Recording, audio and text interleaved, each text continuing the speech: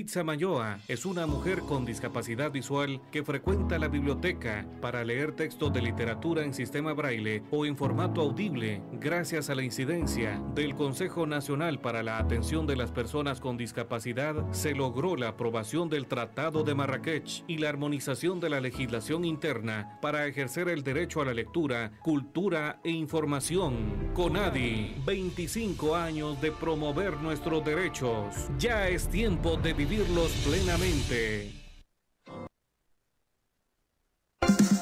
Los comentarios emitidos durante este programa son responsabilidad exclusiva de sus autores y en consecuencia ajenos a esta estación. Ya regresamos.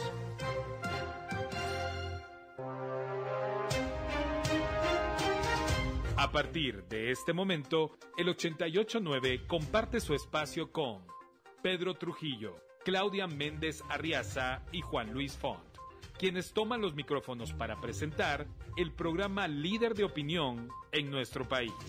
Fabulosa 889 les da la bienvenida a Con Criterio.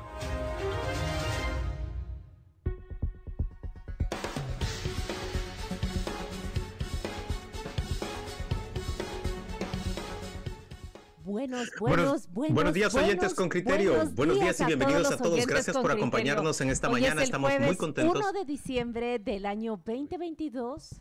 ¿Perdón? Ah, ¿Qué pasó? Oh, no me escucho. Buenos días, oyentes con criterio. Bienvenidos a todos y gracias por acompañarnos en esta mañana. Es un gran gusto estar con ustedes y poder saludarles en el primer día del mes de diciembre. Estamos ya en el mes número 12 del año. Ahora sí, doña Claudia Méndez, bienvenida a usted. Hola, ¿qué tal oyentes con criterio? Muy buenos días. Hoy es el jueves 1 de diciembre, son las 6 de la mañana con dos minutos y le damos la bienvenida a este su programa Líder en Opinión. Hoy arrancamos con el último mes del año y le digo que ha, sí, ha amanecido muy fresco aquí en el Valle de la Ciudad Capital. 17 grados centígrados, eso es lo que reporta el informe del tiempo parciales eh, nublados, eso es lo que nos espera para hoy, pero ¿cómo arranca usted el último mes del año? ¿Qué tal? Buenos días. Efectivamente, amanecemos, amanecemos con el primer día de diciembre. En el garage de mi casa había 20.5, marcaba el carro cuando lo arranqué. 17 cuando salí a la calle, 15 cuando llegué a la radio. Así que ustedes ven, hay 5 grados de diferencia entre su casa, por ejemplo, y la calle, para que ustedes se hagan una idea. Un 25% hay menos de temperatura.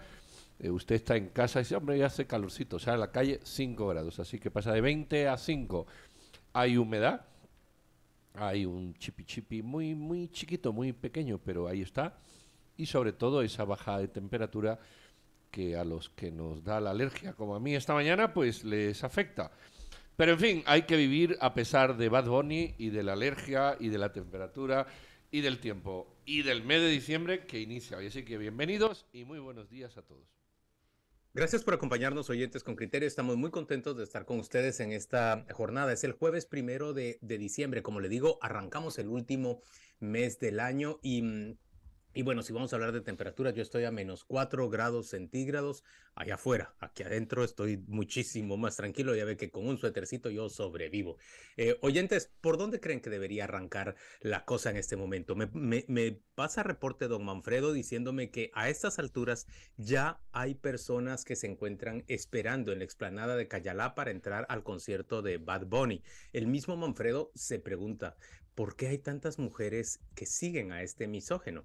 Eh, es difícil de, es difícil establecer esa clase de, de, cosas. Pero bueno, Bad Bunny es un artista que es muy celebrado en el mundo entero y tiene tantos seguidores, hombres como mujeres.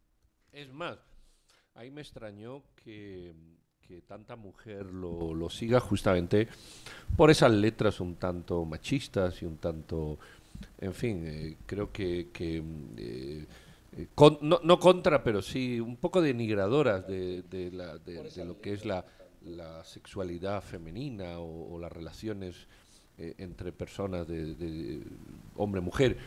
Pero eh, ahí está, un montón de mujeres, tanto como hombres les gusta, les gusta la canción. ¿Qué les hace eh, tararear ese ritmo? No lo sé. pero lo cierto es que cuando tú le preguntas, les encanta. Con lo cual, pues no es el artista, no sé si es el número uno, pero no está ahí entre los top por gusto, sino justamente por aclamación popular. Ahora que tanto alabamos la democracia, el pueblo y esas cosas, pues ahí la masa decide qué es lo que le gusta escuchar. Pues yo le voy a decir muy buenos días a Titi Valle y le voy a decir, Titi me preguntó, ¿verdad? Así que le mando un saludo muy especial. Titi me preguntó feliz diciembre. Maribel Monterroso nos está diciendo buenos días y feliz inicio de mes. Ella nos está enviando un arbolito de Navidad y yo sé que lo que nos envía es una florecita roja que no es una Pascua, pero que se parece una Pascua. Un muy buenos días a Piti Guerrero, a Ligia Pérez Katz, que ya nos está acompañando, y doña Gisela Cuevas, que está hablando de sus antojos, que el jueves pasado tenía un, un debate. Miren, pues, estaba entre si se decidía por paches o pavo, y que hoy tiene el antojo de un buen pache con francés.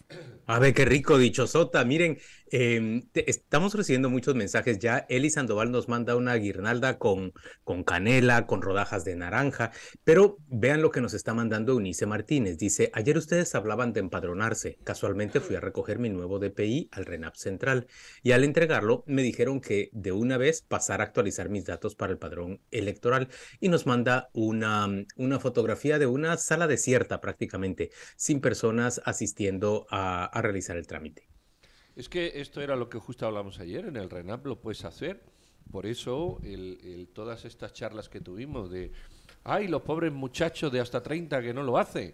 Bueno, si cuando lo sacas lo puedes hacer y tienes la opción, mm, hay que buscar, obviamente la información nunca está de más, las campañas de sensibilización nunca están de más, que los partidos políticos te lo recuerden es bueno, pero es que se puede hacer. Ahora, si no quieres hacerlo, o hay desidia o no te da la gana, pues no lo vas a hacer nunca. Pero sí, ahí está, ahí está uno de los ejemplos de, que yo creo que sí, algo de desidia, quizás no sea, no sea toda la juventud desidiosa, eso es cierto, pero algo de desidia en esto por cansancio, por dejadez, por falta de entusiasmo. Yo creo que algo de eso también hay, ¿verdad? Dice Rodrigo Valadez que, que, hoy será una gran locura por allá por donde vive. Dice que su hija va al gimnasio en Cayalá y ayer a las nueve de la noche había gente acampando en los alrededores para esperar al concierto. Dice que, que a ese bendito hombre no lo iba a ver, pero ni aunque le torcieran el brazo, que ese no es su tipo de música, nos está diciendo Rodrigo Valadez. Miren, y respecto a expectativas cumplidas, ¿se recuerdan que yo ayer les leía de esa quiniela de Juan Francisco Sandoval, el, el exfiscal contra la corrupción y la impunidad, y él decía que seguramente las resoluciones ayer iban a ser favorables a, a, los acusados de casos de corrupción Exactamente tal y como él decía, tanto al señor Galdames como al señor Sinibaldi se les han dictado medidas que les favorecen, por supuesto, en un caso se le ha dictado prisión domiciliar al, al señor Sinibaldi por uno de los casos que se le sigue, hay otro caso más que es el de Odebrecht que se presume que se va a caer en los próximos días.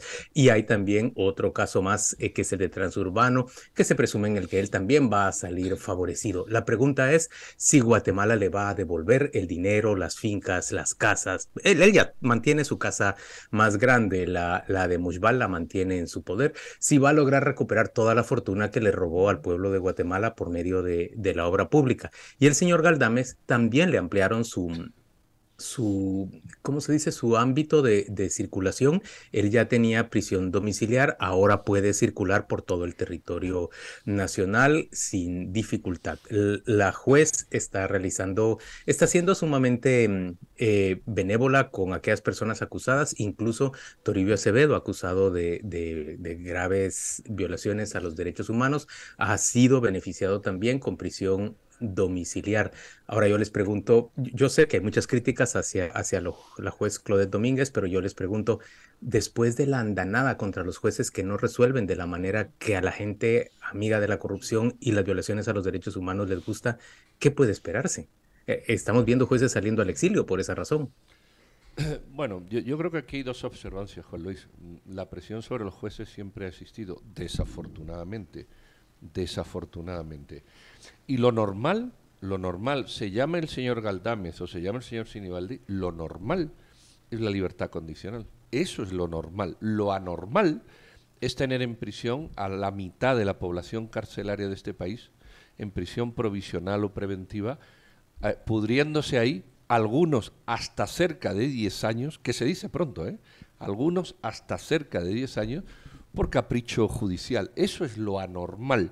Claro, cuando el que sale es el, señor Galdámez o, bueno, solo ha salido, la verdad que no ha salido ninguno, el señor Galdámez ya estaba en prisión domiciliar y lo que se ha hecho ha sido ampliar el ámbito al, país y el señor Sinibaldi, uno de los delitos, eh, es libertad condicional, pero tiene dos más, Odebrecht y Trasurbo, bueno, uno de dos más, y no sale, o sea, salir no ha salido ninguno. Eso es lo normal. Lo triste es que haya gente en prisión provisional, sea quien sea, lo triste es que, eh, por ejemplo, haya octogenarios militares cinco o seis o siete años en prisión provisional, o un señor que entrevistamos en televisión casi diez años, o las fiscales estas que están ahora en prisión provisional. Eso es lo triste y lamentable, los que están, no los que han salido. Pero más triste y lamentable resulta, Pedro, eh, que los casos eh, sean resueltos de una manera particular y específica. Sabemos que si las personas recuperan esa, eh, esa libertad condicional o ese arresto domiciliario, no se trata porque la, la regla se esté modificando, se trata más bien del acceso que tienen personas que resultan privilegiadas por una u otra razón a este tipo de, medidas. Eh, tú bien lo mencionaste, es el señor eh, Eduardo González debió pasar 10 eh, años en la prisión preventiva antes de que se le liberara y él es apenas una, una muestra de todos los que podíamos enumerar. no existe de parte del organismo judicial, tampoco lo ha existido de parte de las instancias coordinadoras del sistema de justicia y mucho menos de parte del Congreso de la República una iniciativa seria, una iniciativa que sea propulsada e impulsada con seriedad para poder modificar este régimen. Y en cambio, por eso siempre vamos a tener ese tipo de suspicacias, ese tipo de dudas, ese tipo de, de desconfianza en el sistema de justicia que hacia uno se extiende un privilegio mientras los otros se quedan refundidos allí. Miren, eh, mientras tanto, yo les tengo que contar eh, cómo empieza todo tan navideño y los oyentes están ya de fiesta aquí. La verdad es que eso es lo que están eh, reflejando los, los comentarios en el, en el Facebook. Les cuento que las entidades gubernamentales ya empezaron a comprar la canasta y, y, ya tenemos canasta.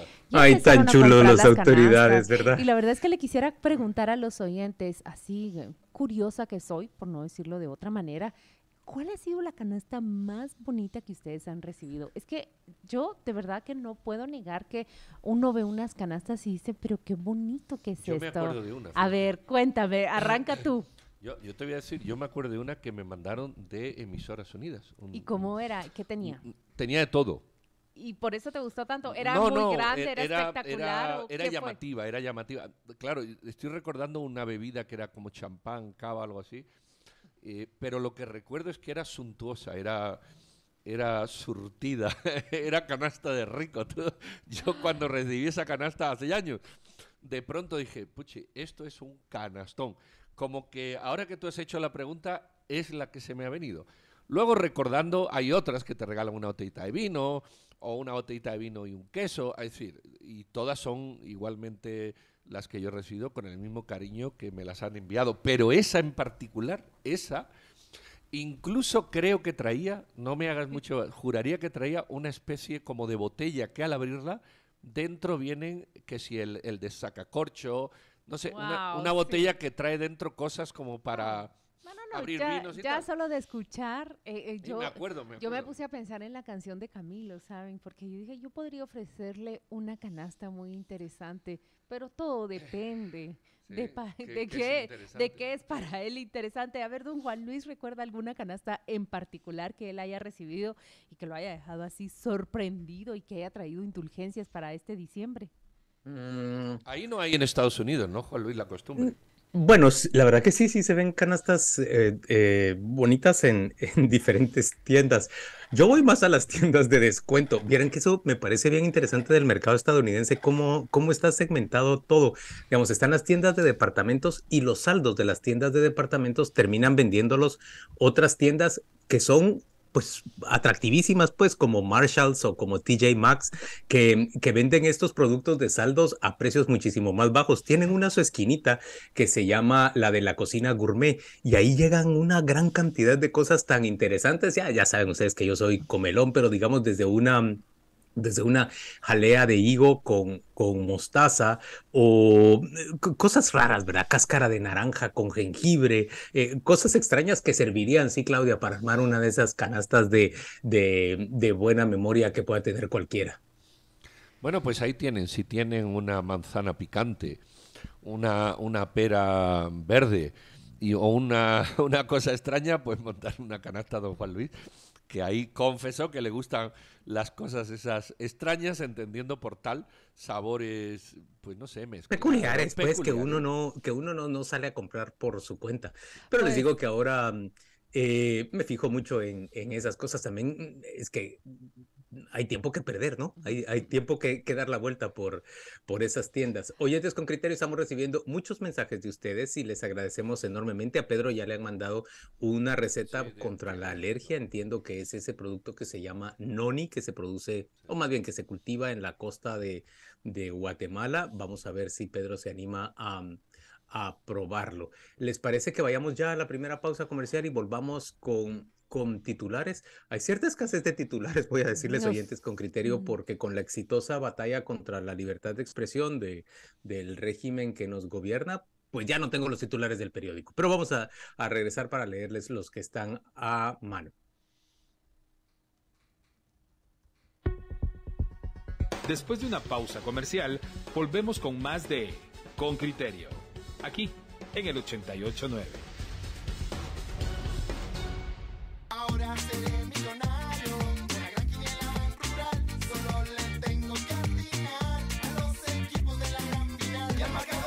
Selecciones crees que jugarán la final del Mundial? Siente la emoción y juega tú también en el Mundial del Millón Ban Rural. Y si aciertas con los dos equipos y el marcador de la gran final, podrás ganar desde 10 mil hasta un millón de quetzales. Adquiere tus boletas por solo 10 quetzales en App Ban Rural, Ban Rural Virtual, agencias y cajas Ban Rural. Juega a ganar con Ban Rural. Siempre me acompaña el sabor de mi tierra al despertar. Y su aroma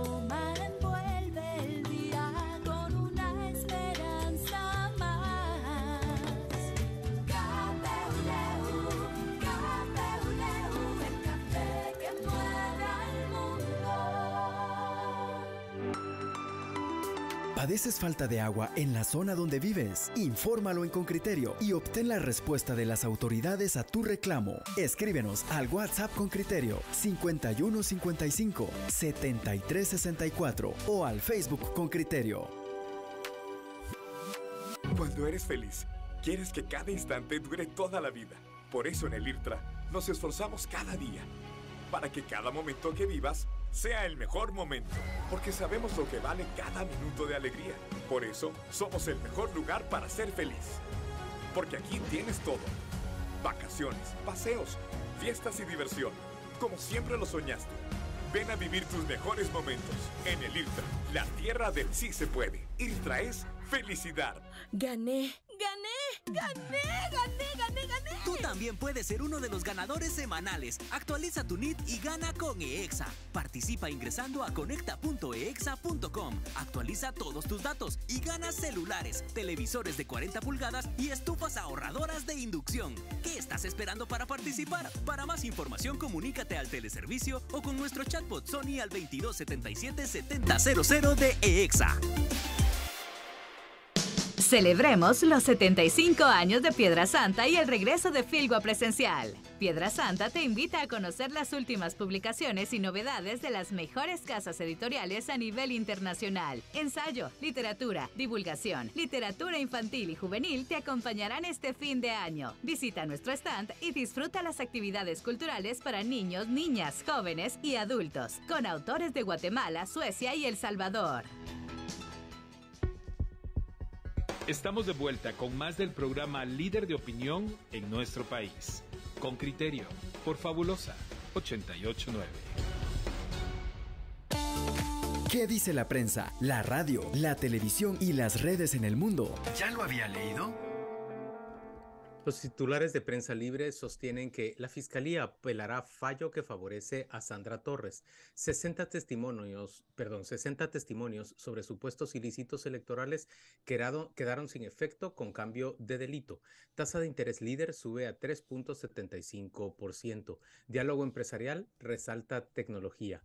México eliminado no fracasaba de esta manera en un mundial desde 1978 y la Semana Santa guatemalteca ha sido considerada ya patrimonio de la humanidad. Ayer fue declarado.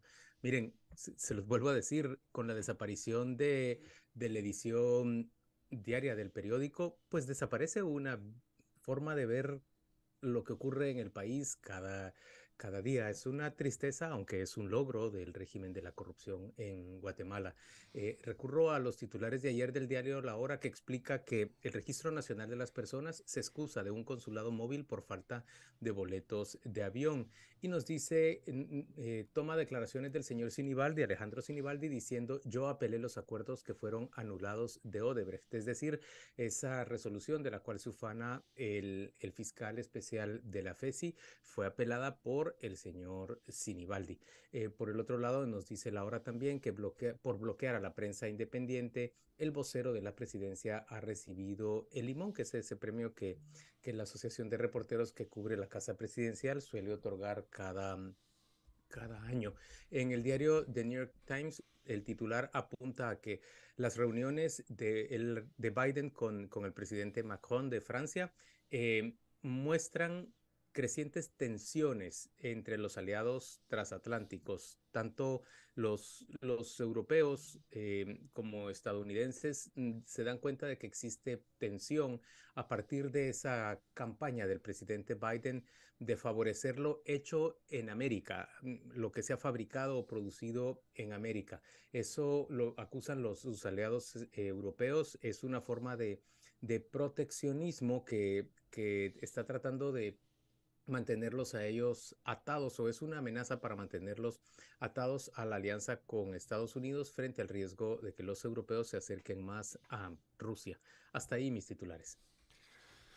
Bueno, pues justamente en esa reunión Biden-Macron eh, también el país recoge Nicolás Maduro condiciona la celebración de elecciones libres al levantamiento de sanciones y justamente es la apuesta eh, que parece que está haciendo el señor Biden y también el señor Macron, eh, eh, que se abra, que se desbloqueen entre 3 y 5 mil millones de dólares que tienen los bancos venezolanos bloqueados en el exterior. Y el señor Maduro dice que, que no, que para hablar con la oposición, pero textualmente dice que para que haya elecciones libres, desbloqueen esto, con lo que reconoce que no hay elecciones libres y encima pone una condición al mundo democrático. Yo ayer escribí sobre esto. Las dictaduras existen porque las democracias lo permiten. Y, creo que este ejemplo del señor Maduro es, es, quizás el más fiel de todos los que pasan por, por, por, por, encima o por delante de los ojos de uno. New York Times en español, ¿a quién beneficia los indultos por marihuana que emitió el presidente de Estados Unidos? Y hace una reflexión de cómo el señor Biden, del 94 ahora, ha dado un cambio radical entre aprobar la ley de prohibición de consumo de marihuana a liberarla.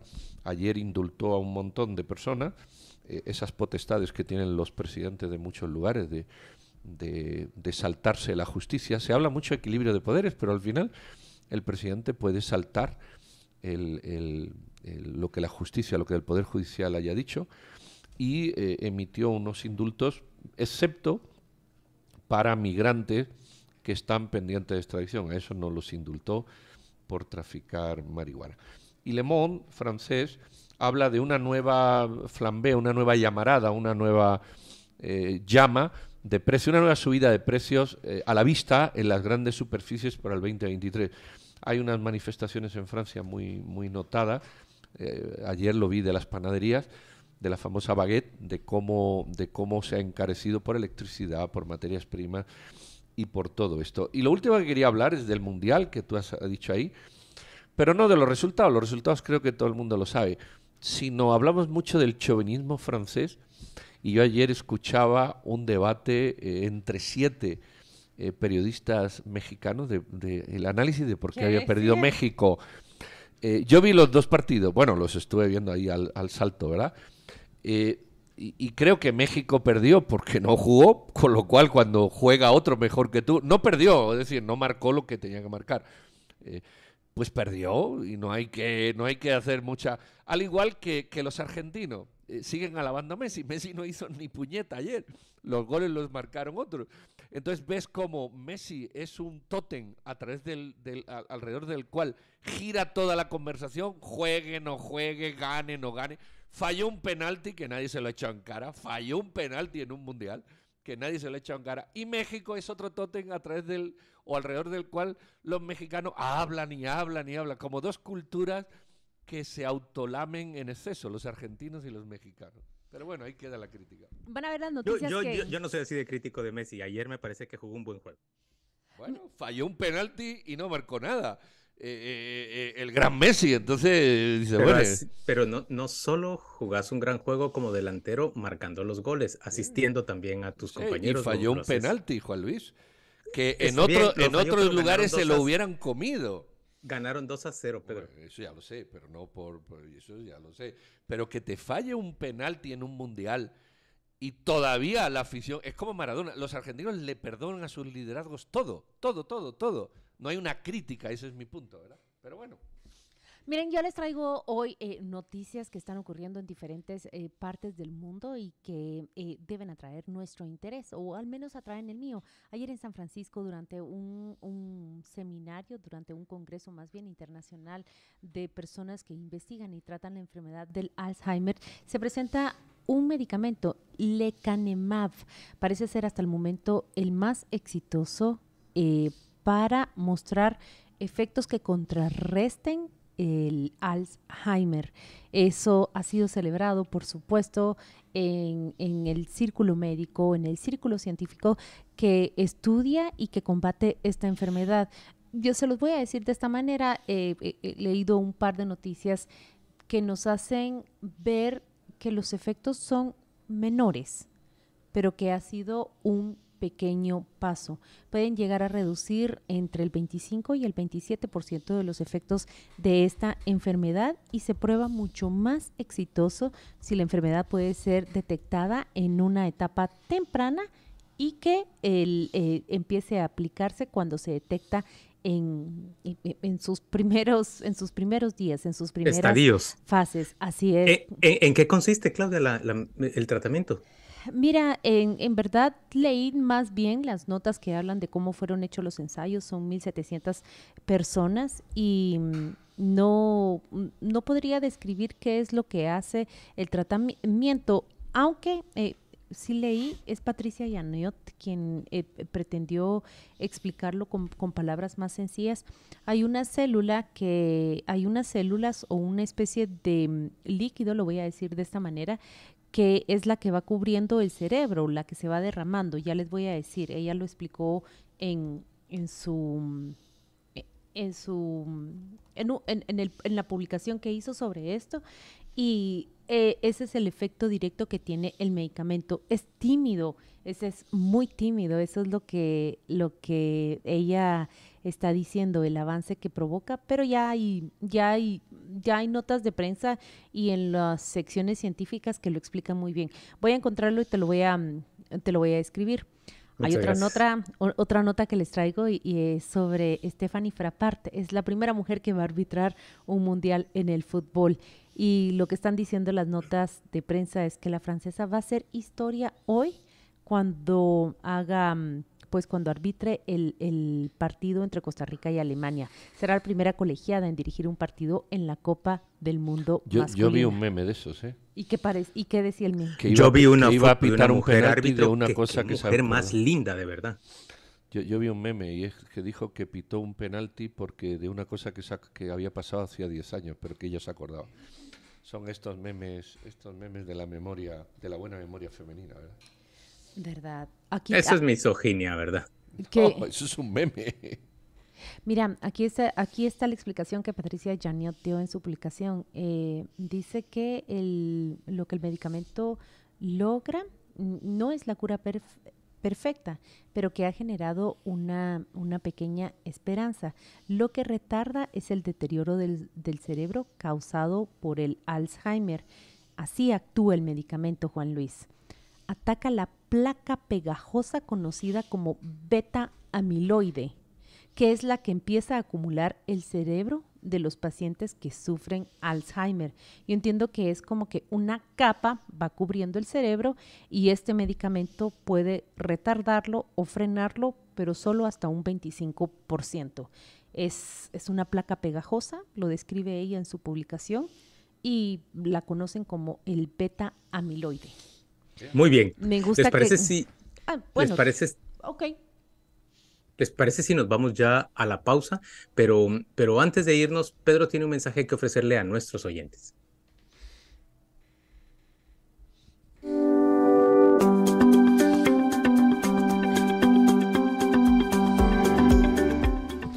¿Le gustaría ganar celulares, televisores y estufas ahorradoras de inducción? Se lo voy a repetir por si le gusta. Celulares, televisores o estufas ahorradoras de inducción. Solo tiene que actualizar su NIT en una página que es conecta.egesa.com. Le repito, conecta.egesa.com. Al actualizar su NIT, además de recibir la factura eh, por correo y todas estas cuestiones que uno tiene, y de ser muy fácil puede ganar en sorteos semanales o celulares o televisores o estufas ahorradas. Yo ya lo hice, así que pilas y hágalo usted. Fabulosa 889 está presentando Con Criterio. Ya regresamos. Consulta en línea el estado del pago de tu subsidio por suspensión médica. Ingresa a www.xgt.org, selecciona el botón Consulta de subsidio y completa tus datos. Así podrás verificar el estado del proceso de pago sin salir de casa, con acceso fácil y rápido. Mejoramos los servicios para beneficio de los afiliados y derechohabientes. Instituto Guatemalteco de Seguridad Social, IX. Cuando eres feliz, quieres que cada instante dure toda la vida. Por eso en el IRTRA nos esforzamos cada día para que cada momento que vivas sea el mejor momento, porque sabemos lo que vale cada minuto de alegría. Por eso somos el mejor lugar para ser feliz. Porque aquí tienes todo. Vacaciones, paseos, fiestas y diversión, como siempre lo soñaste. Ven a vivir tus mejores momentos en el IRTRA, la tierra del sí se puede. IRTRA es felicidad. ¿Necesitas hacerte exámenes de laboratorio? En Biosoluciones ofrecemos exámenes de laboratorio de la más alta calidad al mejor precio del mercado. Cotiza al WhatsApp 5841-1540. Encuéntranos en redes sociales como Biosoluciones Lab. ¿Quieres comprar o vender criptomonedas? CoinCaex es la manera más fácil, rápida y segura de adquirir o vender criptos. Somos líderes en Centroamérica en compra y venta de Bitcoin. Regístrate en www.coincaex.com y comienza a generarle valor a tu esfuerzo. Llámanos al 2508-8774. Coincaex.com. Facilitamos el intercambio de valor. Siempre me gustó la computación. Tomé varios cursos y me di cuenta del potencial que tenía esta carrera en el futuro. Hoy soy un gran profesional en telecomunicaciones y redes. Sí se puede salir adelante. Inscríbete en el INTECAP. Admisiones 2023. INTECAP 1565. Pedro, Claudia y Juan Luis están de regreso. Continuamos con más de Con Criterio, aquí, en Fabulosa 889. Oyentes con criterio. WhatsApp 5155 7364.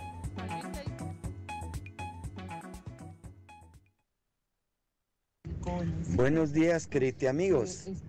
Me parece que las deducciones de Pedro carecen de alguien que de verdad pueda comentar sobre un partido de fútbol. Le quita todo el mérito al buen portero. Y no solo fue el penalti, quitó como cuatro goles. Pedro, deberías de ver nuevamente ese partido. Hasta pronto. Bueno, pues le... gracias a Haroldo Corado por enviarnos este, este mensaje, pero Claudia dice que tiene una noticia más que ofrecernos. Sí, en realidad les había traído una noticia más y tenía que ver con, con ese debut que tendrá eh, la árbitra francesa en una Copa del Mundo masculina. Saben ustedes que hay un, un código deontológico en la publicidad española que a partir de hoy exige que los juguetes que, que, son cocinitas y muñecas no sean eh, promovidos exclusivamente como juguetes de niñas, en brazos de las niñas o que ellas están jugando a las cocinitas. Allá en España se echa a andar una autorregulación que lo que propone es no repetir patrones sexistas que hasta el momento no, no le han hecho eh, bien a, a, a, la sociedad. Eh, me sorprende muchísimo eso. ¿Cuántos cambios, verdad? Bueno, le, contestamos aquí a, nuestro oyente que el, que el portero haya hecho un buen partido. Claro que hizo un buen partido, un excelente partido. De no haber sido por él, hubiera encajado más goles. No quita la crítica. Es que hay gente que se resiste a criticar a Messi. Y, y, el, y el oyente es uno de ellos. Como el portero lo hizo bien, bueno, pero es, Messi lo hizo mal. Como quitaron cuatro goles, pero Messi lo hizo mal. Es que hay gente que se resiste a través de ese tótem sagrado de Maradona y de Messi de hacer una crítica del fútbol argentino y perdonan todo. Esa es mi crítica. Que el Miren, portero... una nota importante tiene que ver con que eh, Pelé se encuentra, eh, el gran jugador brasileño se encuentra hospitalizado por porque su cuerpo está se está hinchando. Eso es lo que dicen tanto su médico como, cáncer, como, su pareja cáncer. y lo han eh, lo han internado en un hospital. En realidad, él ya se encuentra avanzado de edad. Por favor, corríjanme, son 82, 83 años los que él tiene.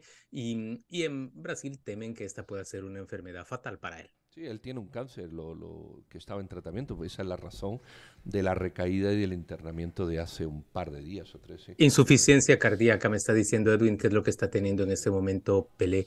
Miren, eh, César Quiroz también piensa que Messi hizo un gran partido ayer, que Lewandowski falló y que, y que no hicieron tanta laraca por Lewandowski.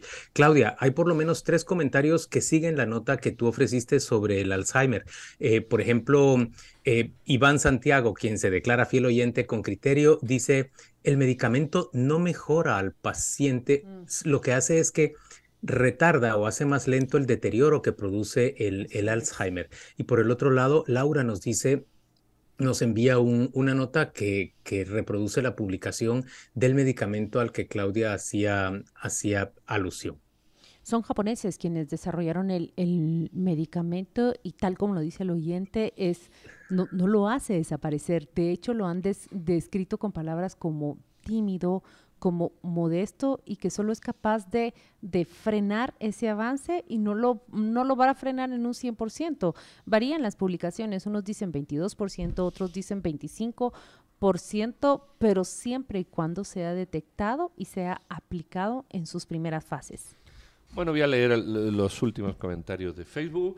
Sergio dice felicitaciones en este día periodistas, como ustedes marcan la diferencia. Eh, Beatriz de Belis, ay Dios mío, qué cosa, meterse hasta con los juguetes. Y Rafael Ramírez dice, y ya van dos penales, y ya van, vaya hombre, se me fue, ahora que yo voy a hablar de los penales, bueno, yo no, Rafael, ah, aquí está, dice, ya van dos penales que va fallando Lionel, la pulga Messi. Bueno, mire, no, no es solo uno, entonces son dos. Eh, buenos días también nos da Ana Eugenia y Juan Manuel, el abuelo, el abuelo antigüeño, también nos saluda, además de muchos oyentes más que, que están justamente en eso. Samuel González de Claudia, saludito. Dios te bendiga. Una reseña sobre la entrevista del ministro de Salud, por favor, sobre vacuna y el lote que va a ingresar, porque bueno, en realidad eh, estaba interesado él, nos dice que no hay vacunas contra COVID-19 y le explico que entrevistamos al ministro hace dos días acá, nos dijo que no hay vacunas, pero que están eh, comprando o gestionando el ingreso de, de, nuevas vacunas. El ministro dijo que la semana siguiente ingresan, ¿verdad? Sí, sí. Esa es la información que él nos dio en este programa. Serán vacunas eh, de tercera y cuarta dosis.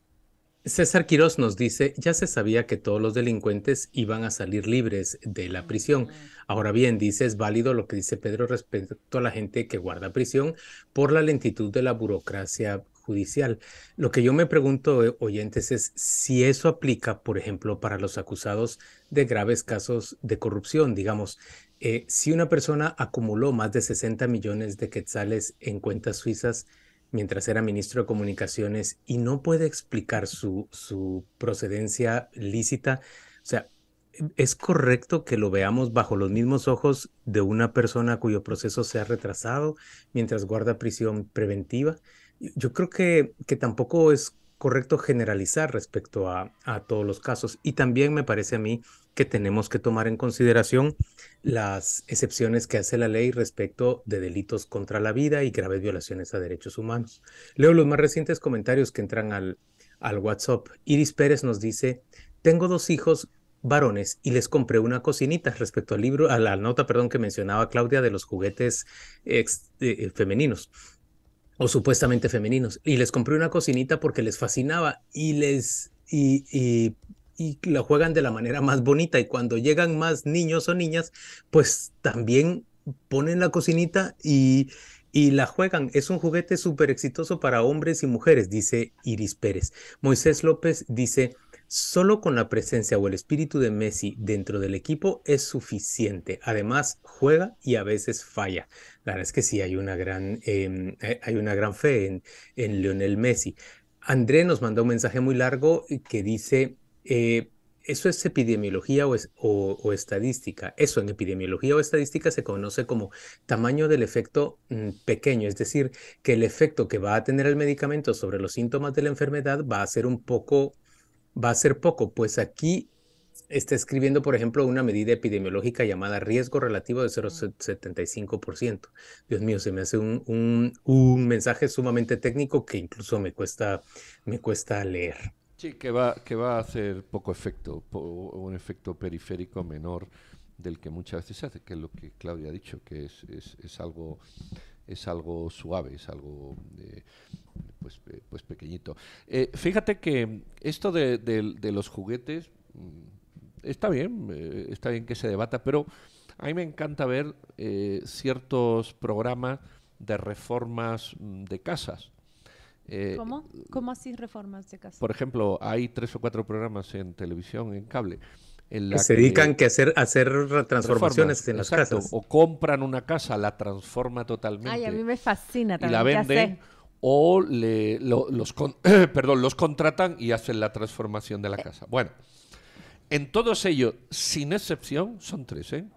Espera, hay más. Hay otro programa de ventas de casas. Venta de casa en Alaska, venta de casa en los pantanos de Estados Unidos, venta Mira de lo que casa hace en la la playa. en su día libre. Bueno, pues en todos esos programas que yo veo, y ya te he dicho seis, ya te he dicho seis, en todos, sin excepción, sin excepción, eh, la cocina es algo que se amplía para la mujer que va a comprarlo y ella los acepta con una alegría pasmosa. Es decir, existe un, un marcado feminismo o un marcado machismo y ustedes dos son cocineros, pero cocineros así de, Sí, sí. yo voy a decir, de tiempo completo, de medio tiempo. Bueno, por lo menos de, de- de tiempo, le echamos tiempo. Entonces, cuando venden o reforman estas casas, a la señora, que generalmente son parejas heterosexuales, a la señora le... ¡Ay! Esta enorme cocina, dice ella, y así se la vende. Y al señor, la sala de billar y juego para con sus amigos. sí. Bueno, eso es, eh, pero hay otra, hay dos programas más de reformación de piscina, que, que reforman piscina. Es la misma babosada. La pérgola, eh, la sala de estar, se la venden a la señora. Y el barecito con la churrasquera se la venden al señor. ¿Hasta qué punto son programas de la televisión internacional? eh? Y, y te acabo de decir ocho. Deberían de apegarse a la realidad que se vive en una, en una casa, porque yo les dije, y ustedes son cocineros de tiempo completo, en cambio yo no, no, no cocino, no cocino, no cocino nada. Es decir, si cocino una vez al año, cocinaré mucho. Y yo sí jugué con muñequitas, la verdad. Pero creo que, que no sé, hay que encontrar un, un- un justo medio, ¿verdad? Ese justo medio tan invocado en los tribunales de justicia, tan invocado en, en- en todos, en, todos los arbitrajes. ¿Cuál será el justo medio? Porque eh, ¿hacia dónde va la Asociación de Productores de Juguetes de, de- de España? Es una autorregulación y autocontrol que, que No, se no, han impuesto para la producción de, de- de juguetes para todos los menores de 15 años. Sí, pero es una autorregulación políticamente correcta, ese es el punto. Ese es el punto. Entonces, todo lo que sea autorregulación es como la autocensura. Como está de moda, no puedo hablar de tal cosa. Como está de moda, porque si hablo de tal cosa me caen. ¿Te parece que es como el woke, el Sí, el, Yo creo que es una simpleza decir que, que las cosas son, digamos, eh, que se siguen por una moda de corrección política o algo por el estilo. Sí, Juan Luis, muchas Me parece que es una propuesta y que, y que la gente la seguirá si le parece bien o, o si no le parece bien. ¿Saben qué me ha sorprendido? La reacción entre nuestros oyentes respecto al tema del Alzheimer. Se ve que es una enfermedad que, que, que alcanza a muchas personas y que, que le incumbe a, atrae la atención de muchos más. Miren esto que nos está diciendo otro oyente, nos dice, la cura para el Alzheimer es mantenerse activo mentalmente durante toda la vida, que las neuronas se mantengan ejercitadas. A mi papá le diagnosticaron Alzheimer a los 75 años y no ha tenido manifestaciones. Actualmente tiene 95 y su cabeza está nítida, su cuerpo no, y eso es lo difícil. Así que hay que leer, actualizarse, hacer sudokus. A mi mujer nunca le va a dar, nunca le va a dar Alzheimer porque hace no sé cuántos sudokus al día. Es Crucigramas. Hay que ajá. retar al cerebro todo el tiempo, nos está diciendo. Ya ven, eso, ese- esa dificultad tengo yo. Yo no reto a mi cerebro. De, de verdad. Pero es que, no sé, Juan Luis, uno se sensibiliza mucho las organizaciones, las asociaciones, los médicos, vaya pues el grupo que se dirige a atender y hablar sobre el Alzheimer han hecho un buen trabajo, me parece a mí, en el sentido de sensibilizar al mundo completo de qué es el Alzheimer. Todos, si les digo, levanten la mano los oyentes, levanten la mano Pedro y Juan Luis, que han visto un anuncio y se han quedado prendidos en el anuncio cuando muestran cómo un paciente de Alzheimer puede reaccionar ante un abrazo, puede reaccionar ante un recuerdo, o cómo los pacientes esos de Alzheimer están con sus hijos, con sus familias y no recuerdan nada, pero de momento les graban un momento, un momento cúspide que pienso que, bueno, a mí me han sacado las lagrimitas y digo, ¿cómo? Que no es difícil, oyentes con criterio. Créanme que Claudia No. es así como de corazoncito tierno. Sí, sí, la verdad, pero eso- esos, esos anuncios o esos vídeos me han sacado las lagrimitas. Me recuerdo mucho una película que describe cómo una académica de la Universidad de Columbia empieza a padecer de Alzheimer y ella está a punto de dar una conferencia y empieza a perder el lenguaje. Y yo digo, Dios mío, ¿cómo es ese momento? Y francamente, el, el trabajo que han hecho para sensibilizarnos es, es importante. 50 millones de personas padecen de Alzheimer en el mundo y lo que dicen los científicos es, eh, es esperanzadora los resultados que ha revelado este estudio, pero por favor no, no nos alegremos demasiado. Em, sobre el estudio sí traía mis notas preparadas, Juan Luis, que dividieron a los pacientes en, en, dos, eh, en dos grupos, ya sabes, los que reciben placebo, los que reciben el medicamento, y mm, con esos tests que aplican tanto al que al- a quien se le diagnostica la enfermedad como a su entorno, porque si en algo se hace hincapié es que el Alzheimer lo van a sufrir todos, no solo la persona eh, que es el paciente, sino los hermanos, los hijos, los cónyuges.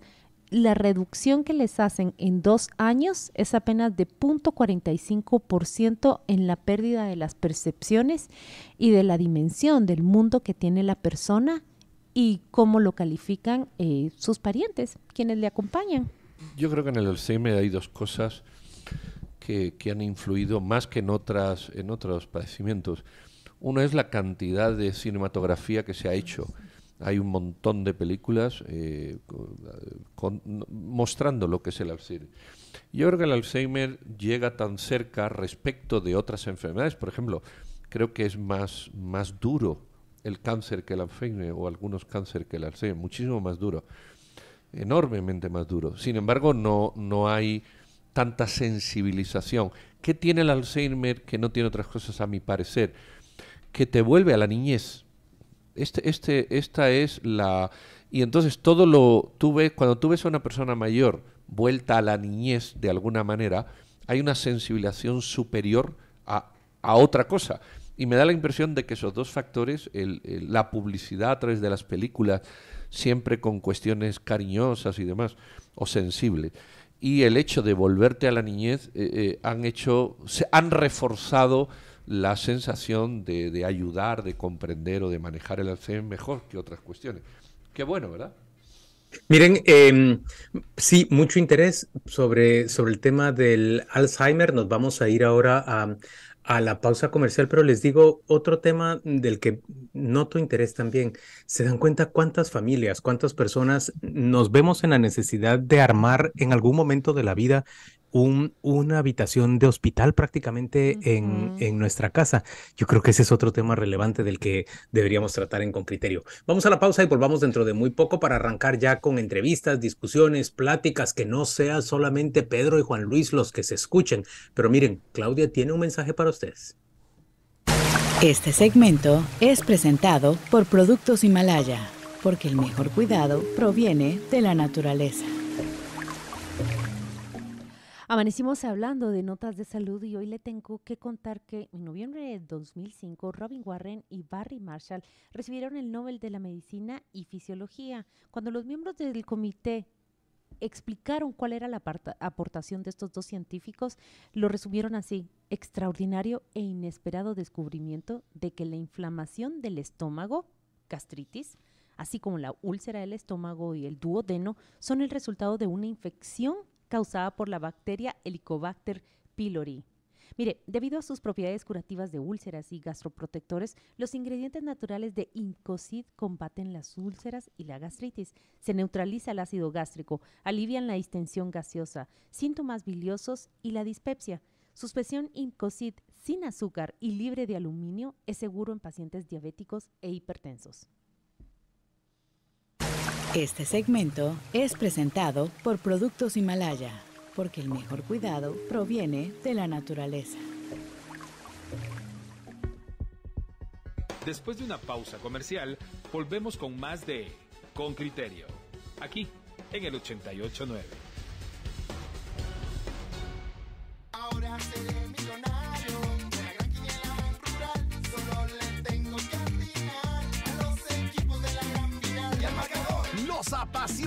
Del fútbol ya están jugando en el Mundial del Millón Ban Rural. Juega tú también. Apoya tu selección. Y si aciertas con los dos equipos y el marcador de la gran final, podrás ganar desde 10 mil hasta un millón de quetzales. Adquiere tus boletas por solo 10 quetzales en App Ban Rural, Ban Rural Virtual, agencias y cajas Ban Rural.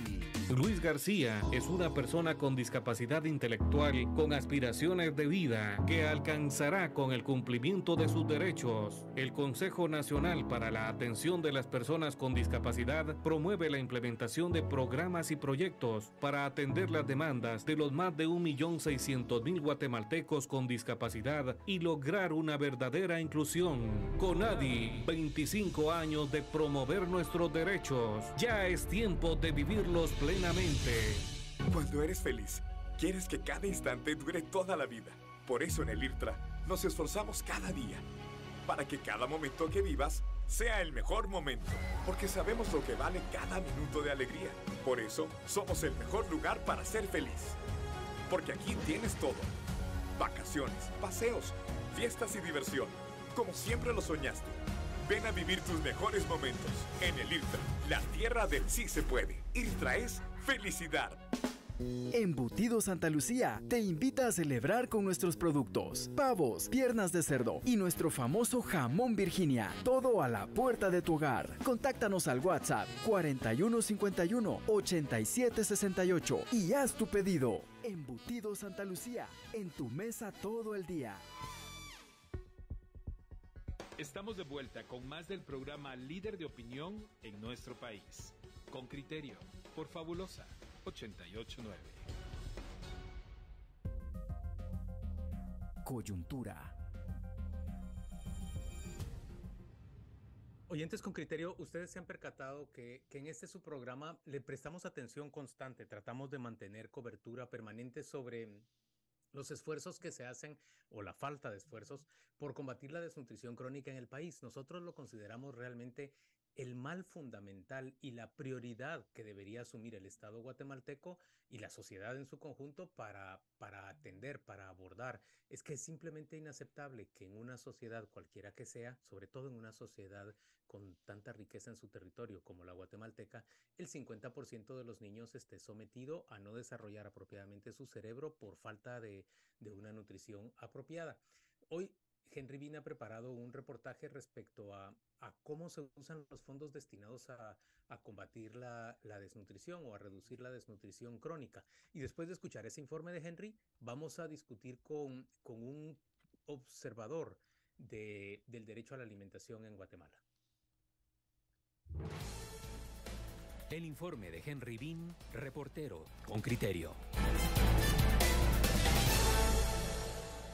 Hay un artículo en la Ley de Presupuesto 2023 que genera dudas en diputados de oposición del Congreso de la República. Se trata del artículo 76 que faculta al Ministerio de Finanzas a modificar el convenio de préstamo de 100 millones de dólares con el Banco Mundial para el programa Crecer Sano, el cual busca mejorar prácticas para combatir la desnutrición crónica. El párrafo dice que hay 20 millones de dólares que pueden destinarse para apoyo a la pandemia del COVID-19, la misma cantidad y para el mismo fin se apartó en 2020. Esto genera rechazo porque 208 niños han fallecido en los últimos tres años por desnutrición y los fondos no llegan. Al cierre de noviembre, el Sistema de Información Nacional de Seguridad Alimentaria y Nutricional, SINSAN, reportó 56 niños muertos por desnutrición aguda y 18.759 más luchan por sobrevivir durante 2022. Además, 50% de los niños del país padecen desnutrición crónica. Cándido Leal, presidente de la Comisión Legislativa de Finanzas no responde llamadas ni mensajes para explicar. Tampoco diputados de todos ni creo que votaron a favor del presupuesto. El Ministerio de Salud se limitó a responder en un mensaje de texto que de los 20 millones de dólares de crecer sano destinados a la pandemia en 2020 solo se usaron 1.9 millones de quetzales, pero no aclara el contenido del presupuesto 2023. Con criterio pidió una postura al Banco Mundial por medio de su oficina de relaciones públicas. Ellos aseguran que lo que hace el artículo 76 es modificar los 20 millones de quetzales aprobados en 2020 y esos fondos no ejecutados ya no serán para COVID, sino para objetivos del programa, aunque eso no es lo que dice la ley. Sin embargo, el ministro de Finanzas, Edwin Martínez, confirmó que la disposición de los 20 millones de dólares del presupuesto de Crecer Sano dirigidos a la pandemia sí son para 2023 y se tendrían que hacer efectivos a requerimiento del Ministerio de Salud. Walter Félix, diputado de URNG e integrante de la Comisión de Finanzas, cuestiona que aún se aparten fondos para la pandemia cuando ya no estamos en emergencia.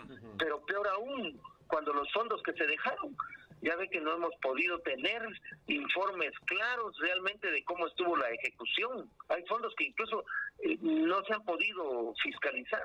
No sabemos realmente qué, qué pasó. Salud reporta 15% de ejecución en remozamiento de 81 puestos de salud a intervenir. La situación se agrava en la construcción de los 67 nuevos puestos. Hay cero avance a tan solo un año de que culmine la fecha límite de los desembolsos. Salud dice que los primeros 23 centros serán construidos en 2023. El diputado Félix. No deberíamos de estar todavía viendo si se eh, inician los procesos de licitación como estamos. Resulta que han cometido graves errores y han ido retrasando la ejecución de los fondos. Estamos pagando intereses y no se ejecutan los fondos.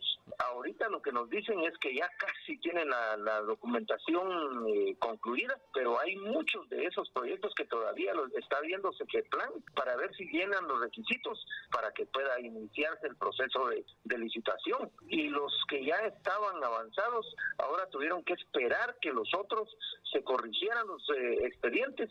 Los intereses pagados a la fecha suman 2.4 millones de quetzales. En otros aspectos importantes, el informe de avances también destaca en ejecución cero, equipamiento complementario de puestos de salud, adquisición de micronutrientes, proyectos de agua y saneamiento. Y pese a que las obras no despegan, hay reportes de ejecución de 50% en supervisión de obras de remozamiento y consultores para la construcción de puestos de salud. Juan Carlos Rivera, diputado de Victoria e integrante de la Comisión de Finanzas. Sistemáticamente este crédito únicamente ha servido para asesoría y no ha cumplido su, objetivo. Y vemos que en el presupuesto general de la nación que otorgan 20 millones de este préstamo, donde le quitan fondos a este préstamo para comprar vacunas del COVID. Eso es muy preocupante porque no se están cumpliendo los objetivos del, del préstamo, pero tenemos que observar la norma presupuestaria en el artículo 25, donde se refiere a la compra de, de vacunas COVID, también deja abierto este artículo la oportunidad al Ejecutivo de que los fondos que tengan para las compras de, de vacunas las puedan utilizar para otras instituciones. Y creo que lo que están haciendo es un es un, un, bolsón de fondos. Además, el presupuesto 2023 incluyó a última hora 600 millones de quetzales como aporte extraordinario a los consejos departamentales de desarrollo, CODEDES, y se justifica para la gran cruzada por la desnutrición. Y Félix refuta. Para ejecución de proyectos de infraestructura y otros proyectos. O sea, ya sabemos, ya sabemos qué es eso es corrupción. En tres años, el Ministerio de Salud solo ha desembolsado el 18%, equivalente a 146.6 millones de quetzales, según reporta el portal de préstamos externos del Ministerio de Finanzas Públicas, mientras que el Ministerio de Desarrollo Social reporta cero ejecuciones, cuando la fecha de cierre de los desembolsos es en un año, enero 2024. Henry Bing, Radio con Criterio. Muy bien, ahí tenemos ya la nota de, de Henry Bing que nos ofrece Sí, un panorama poco alentador y le damos la bienvenida a Jorge Pernillo. Él es consultor y es coordinador del Observatorio del Derecho a la Alimentación en, en Guatemala. Buenos días, Jorge. Gracias por acompañarnos. Eh, buenos días, Juan Luis. ¿Me escucha? Perfectamente. Gracias por estar hoy con nosotros. Muy bien, gracias. Muy amable. Eh, Jorge, eh, nosotros quisiéramos que usted eh, arrancara y de una manera sucinta y breve para nuestra audiencia nos describiera ¿En qué eh, estado, de acuerdo a sus observaciones, se encuentra este proyecto? Mm, ¿Pretendía enfocarse en los primeros mil días de vida de, de una persona y mm, apuntaba hacia cambiar ciertas prácticas, ciertas creencias, aparte de modificar pues la infraestructura? Hoy hacemos un corte de caja. ¿Cómo nos encontramos? Bueno, eh, primero, la desnutrición crónica es multicausal el Ministerio de Salud va a traer o atiende lo que se dejó de hacer de parte de los demás, de las demás, entidades que, están involucradas en, este tema y tratar y, prevenir la desnutrición. Eh, es, bien, es bien difícil para el Ministerio de Salud trabajar eh, en las condiciones que, están más para el personal y, y, dar los servicios de forma oportuna y con una cobertura ideal. A la fecha llevan el 75% de, del tiempo de ejecución con un pequeño avance de, ejecución eh, financiera, que no significa que sea lo mismo la ejecución financiera con las actividades que habían programado en terreno o entregar. Eh, básicamente esas actividades van en temas de capacitación al personal, eh, formación de competencias, eh, de estos puestos centros de salud, la construcción de otros, eh, eso es en resumen el proyecto Crecer Sano. Eh, lastimosamente, lastimosamente, el, sistema de salud, al contrario de, mejorar, se ha debilitado. Eh, a partir del 2014, desde que ya no existe el programa de extensión de cobertura, ya no se llegó a, o ya no se cubrió a muchas comunidades que, que cubría este programa. Al menos una o dos veces al mes llegaban los, los, médicos, eh, los equipos móviles de, salud a, estos, a estas comunidades más postergadas. A partir de ahí, el Ministerio de Salud quiso cubrir con otras con diversas estrategias que todavía están tratando eh, de llegar a esta, esta población, pero no lo ha logrado. Ahora se inventaron o están tratando de hacerlo con ferias de salud. O sea, ya está fuera de como de un contexto, de un modelo, de algo más como de parte de un sistema, ¿verdad? Sino la hacen cuando pueden, cuando tienen apoyo y hacen sus ferias de la salud, que no es lo ideal. Entonces, este préstamo viene a fortalecer al sistema de salud que, que está colapsado, o sea, que va a fortalecer si la estructura está en, pues, está en chirviscos. Más bien eh, hay un gran problema, ¿verdad? hay un grave problema para la ejecución. El problema es de fondo, el, el problema es de fondo y el préstamo que tiene unas intenciones y unos objetivos muy loables y que uno desearía que fueran eh, realizables de inmediato, se enfrenta a un sistema de salud que en tres años eh, no ha podido ejecutar ni la mitad. Está cerca de vencerse y no ha ejecutado la mitad.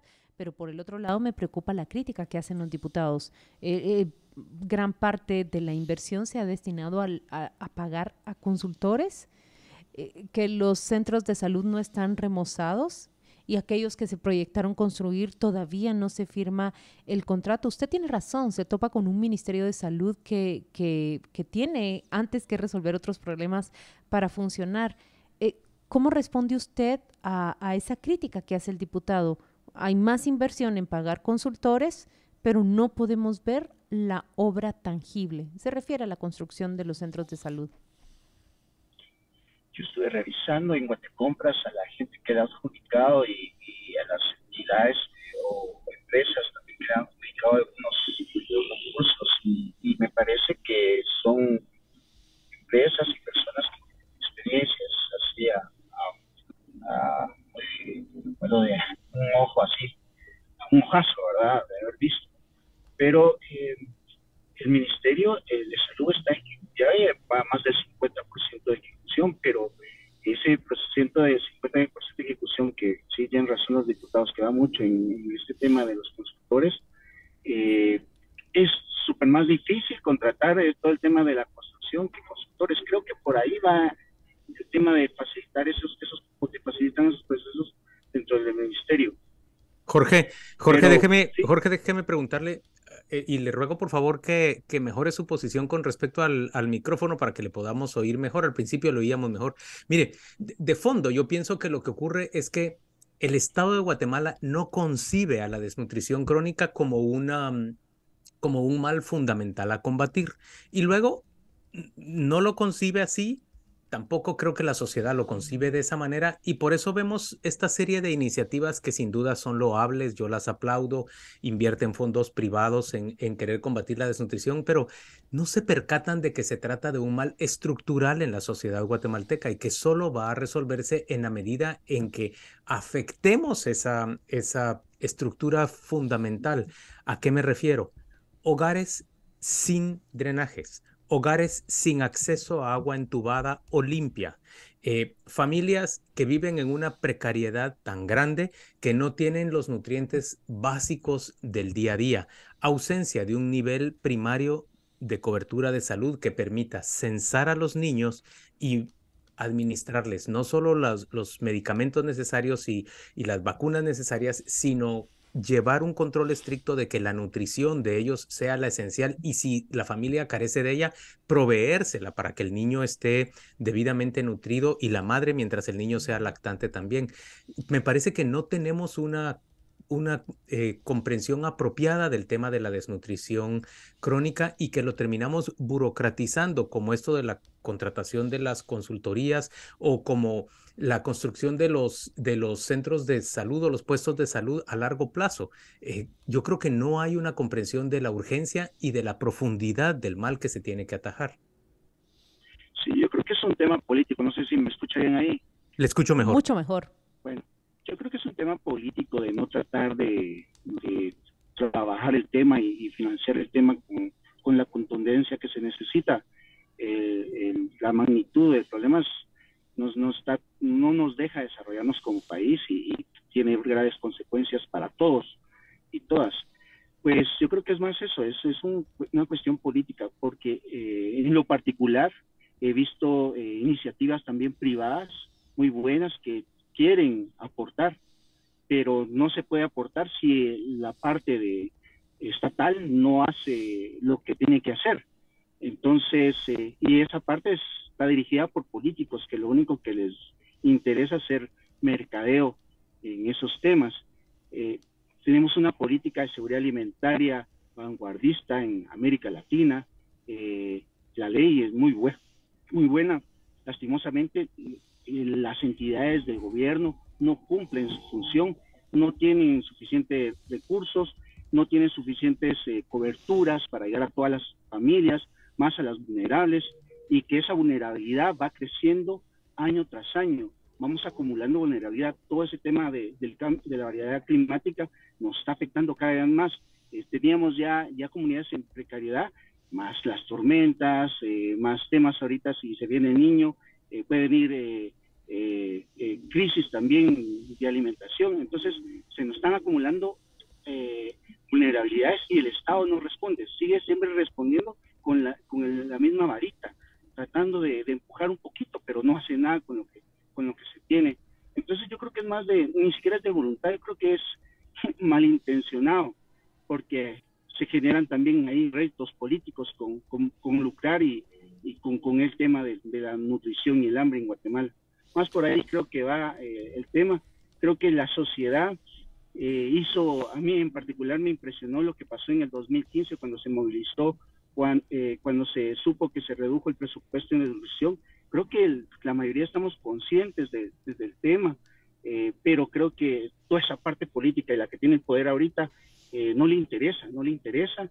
Eh, antes, cuando uno hacía crítica, al menos reaccionaban en prensa, eh, salían aclarando, ahora no, ahora no, ahora se critica, se dice y no, no pasa nada, no pasa nada. Es que, la sociedad lo, lo la sociedad lo tolera todo, lo tolera que se roben todo el dinero, que compren a los alcaldes, que liberen a los corruptos, todo, que, que se exilie a los jueces, todo se está tolerando. Entonces, es como que sienten que, que la puerta está abierta para actuar como, como les dé la gana. Eh, ¿Qué podríamos hacer? ¿Qué, qué, se pudiera hacer, Jorge, para, para cambiar la actitud? como bien decís, incluso ahí en el sector privado hay, hay numerosas áreas en el país, numerosos segmentos de población en el país que sí están sensibilizados. ¿Qué se pudiera hacer para forzar al Estado a prestarle atención a este tema como la prioridad que es? Yo creo que, que eso, ¿verdad? Precisamente eh, la gente que está haciendo y que, está trabajando el tema, tratar de eh, hacer alianzas, ¿verdad? Alianzas con el sector privado. Sé que hay un sector ahí en, que por ley debería que estar coordinando en la Incopaz, pero no pasa nada con, con esto, ¿verdad? La Incopaz. Y creo que sí se puede lograr algún tipo de instancias entre universidades, entre el sector privado, ONGs, no solo para entregar servicios o para apoyar las, las iniciativas de gobierno, sino para fiscalizar al gobierno de lo que está haciendo. En lo particular, yo tengo mi crítica en la aprobación, desde la aprobación del, convenio del, de, este Banco Mundial del proyecto, porque era una réplica de un proyecto que se hizo anteriormente, de 44 millones de, eh, de, dólares en, a partir del 2008, que no redujo la desnutrición crónica, sí redujo la muerte materna, pero no redujo la, desnutrición crónica. Y este, ese proyecto así, a simple vista, como lo pusieron también eh, eh, y se aprobó, no, no iba, digamos, a causar mayor efecto. Eso lo sabe el Banco Mundial, eso lo sabe el Banco Mundial. Y sin embargo, eh, encontrábamos a la representante del Banco Mundial haciendo bastantes conferencias de prensa sobre el tema, recibió la, la comisión y se fue del país, está disfrutando su comisión pero sí, el, creo que eh, tanto en la estructura del proyecto no, no, no, no llevaba lo, necesario o, la contundencia que se necesita para trabajar el, eh, el o para, prevenir la desnutrición, principalmente desde el Ministerio de Salud, que, que es la primera línea, ¿verdad? Yo, mi respeto para mucha gente del Ministerio de Salud que está haciendo su mayor esfuerzo, pero está haciendo su mayor esfuerzo sin, sin transporte, sin insumos, sin recursos porque los procesos administrativos también son débiles dentro del Ministerio de Salud. Ustedes van a, revisar los presupuestos de Alta Verapaz, por ejemplo, donde ahorita se está concentrando la muerte por desnutrición y que, por cierto, hay más muerte por desnutrición aguda que el año pasado. Eh, ustedes miran los casi los mismos presupuestos en los mismos 10 años. O sea, no, no ha aumentado, no ha aumentado, para ellos no ha aumentado población, para ellos no ha aumentado eh, crisis alimentaria, para ellos no, no, no existió tormenta ETA y y siguen haciendo los mismos presupuestos, y mucho, uno o dos millones para todo el área de salud se ha, aumentado, pero no, no con la contundencia que se necesita. Entonces también hay temas administrativos y por lo general los administrativos los ponen los políticos. A los técnicos son a los que, a los que menos eh, coloca esta gente y son los que menos tienen insumos y recursos para trabajar. Entonces yo creo que entre todos sí podemos hacer una alianza por ahí para ir empujando este tema. La cuestión es quién lidera esta alianza, ¿verdad? ¿Quién lidera pero, esta alianza? Pero, pero Jorge, eh, cobrar conciencia de que sí podemos generar una alianza, podremos generar conciencia, pero si este es un tema de orden económico, de estructura económica nacional, o sea, por más alianza que hagamos, realmente esto se tiene que abordar desde el Estado. Si no lo encabeza el Estado, es difícil que esto se transforme en el país. Jorge, muchas gracias por estar hoy con nosotros y por acompañarnos en Radio con Criterio. Perfecto, de acuerdo también. Nos vemos. Un gusto. Fabulosa 889 está presentando Con Criterio. Ya regresamos. En Con Criterio, si la razón es antes que la emoción, la información, el debate y el análisis van primero. Pero ya estamos en diciembre y los buenos deseos para todos nuestros oyentes ya están listos. Es hora de abrir nuestros corazones y así juntos disfrutar de esta temporada.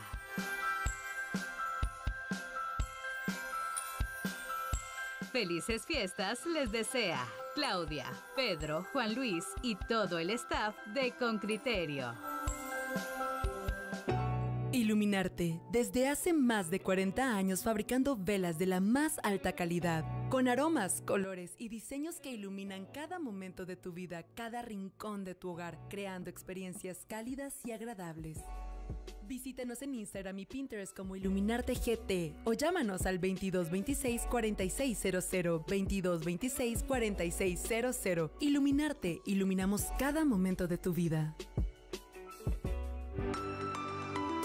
¿Padeces falta de agua en la zona donde vives? Infórmalo en Concriterio y obtén la respuesta de las autoridades a tu reclamo. Escríbenos al WhatsApp con criterio 5155 7364 o al Facebook con criterio.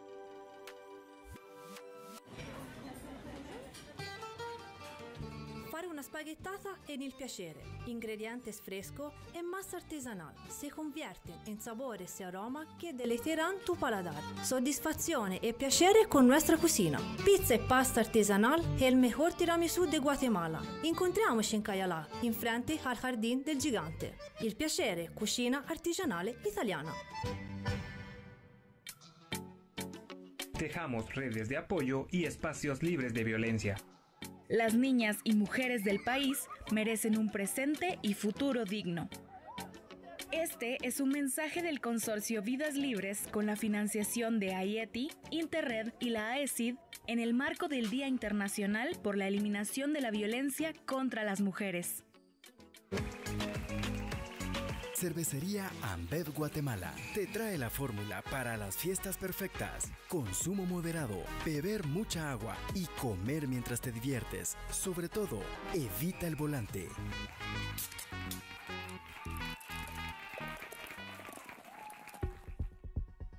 Pedro, Claudia y Juan Luis están de regreso.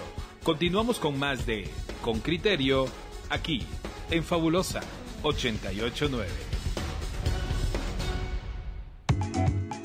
Oyentes con criterio. WhatsApp 5155 7364.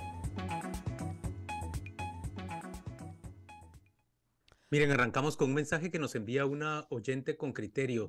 Dice, ¿podrían ustedes interceder ante la empresa municipal de agua, ante el alcalde Ricardo Quiñones, don Ricardo Quiñones? Ojalá que alguien que escuche este mensaje se lo haga llegar. Hay una fuga de agua que sale en la acera desde hace ocho días en la 11 calle A 11-87, zona 17, colegio, colonia Colegio de Maestros. Eh, el agua, cuando llega el agua, empieza a salir a, borbotones y aunque hay una alcaldía auxiliar en la colonia, no se ha resuelto nada. Este mensaje lo suscribe Mirna Osorio. Ojalá que, que podamos eh, llegar hasta las autoridades, que alguien lo pueda escuchar y pueda avisar de esa fuga de agua que tiene ocho días de reportarse. Es un mensaje para las autoridades de Empagua, para las autoridades de la Municipalidad de Guatemala, zona 17 en la colonia Colegio de Maestros, 11 calle y 11 avenida, según leo en la nomenclatura que nos han indicado.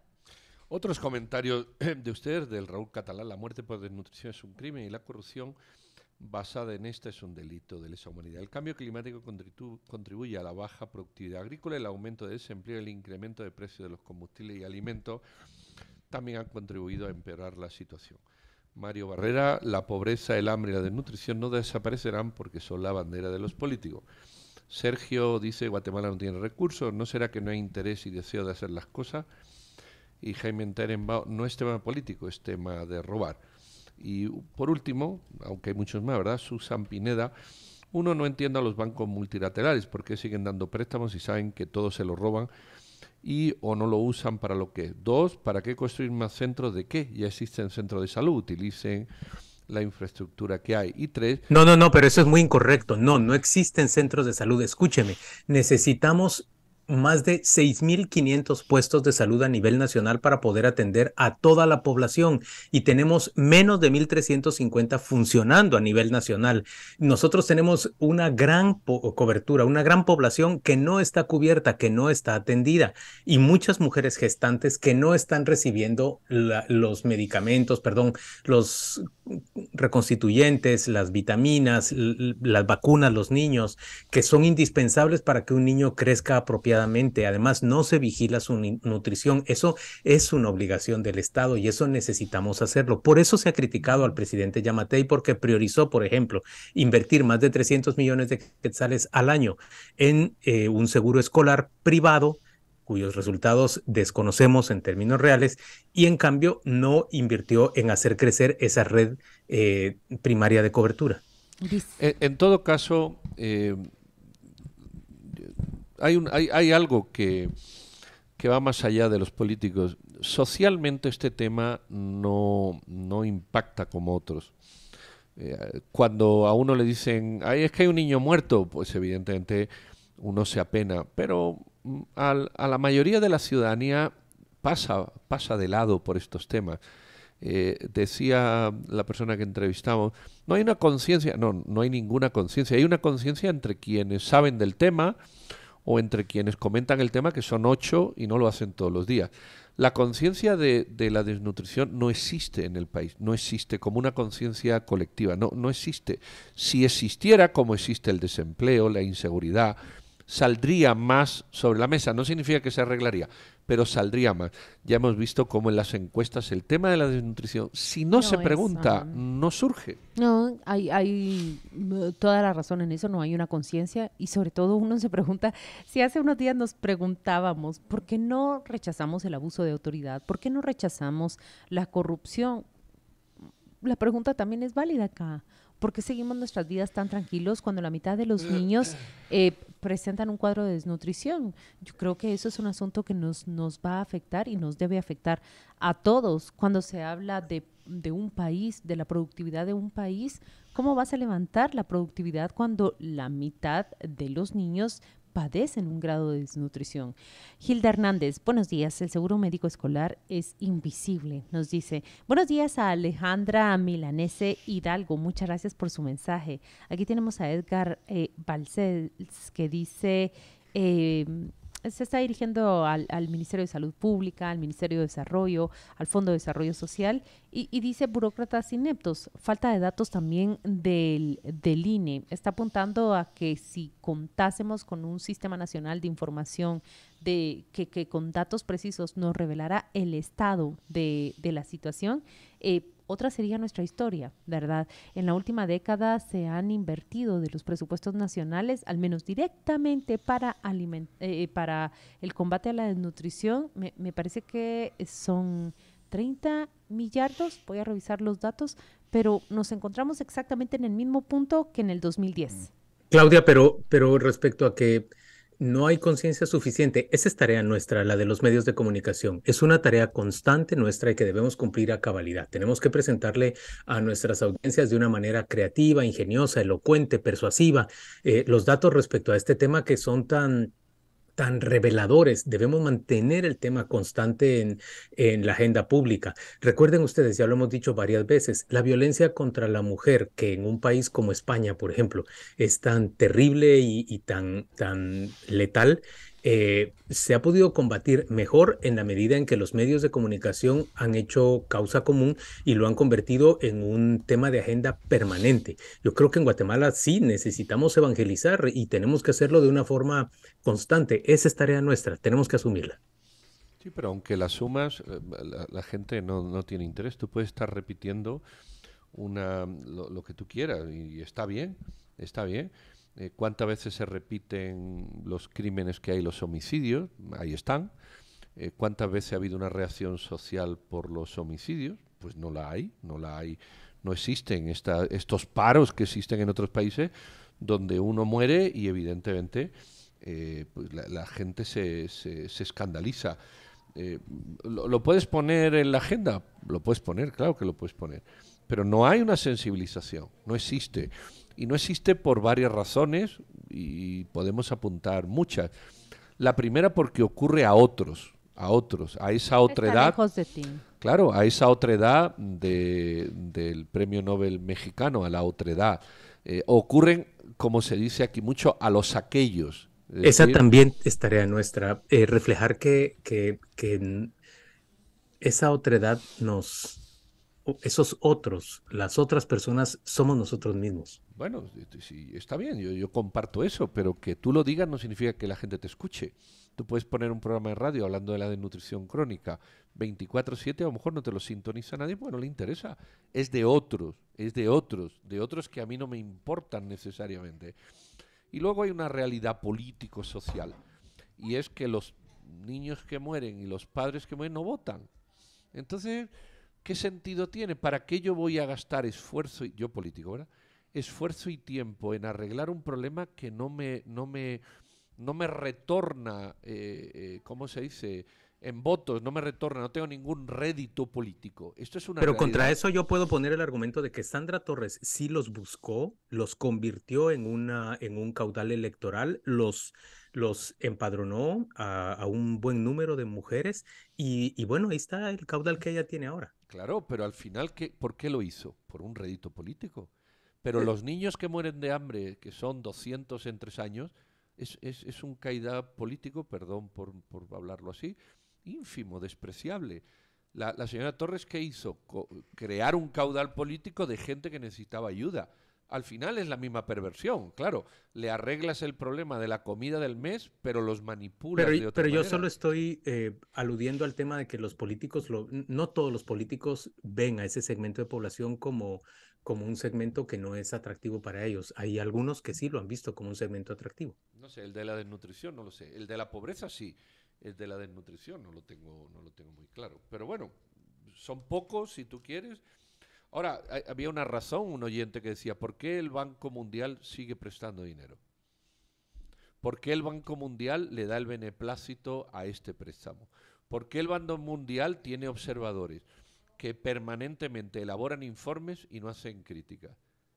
A ver, ¿por qué la banca mundial sigue haciendo eso? Esa es otra Porque es pregunta que hay que banca, porque es banca y porque su trabajo está en colocar fondos.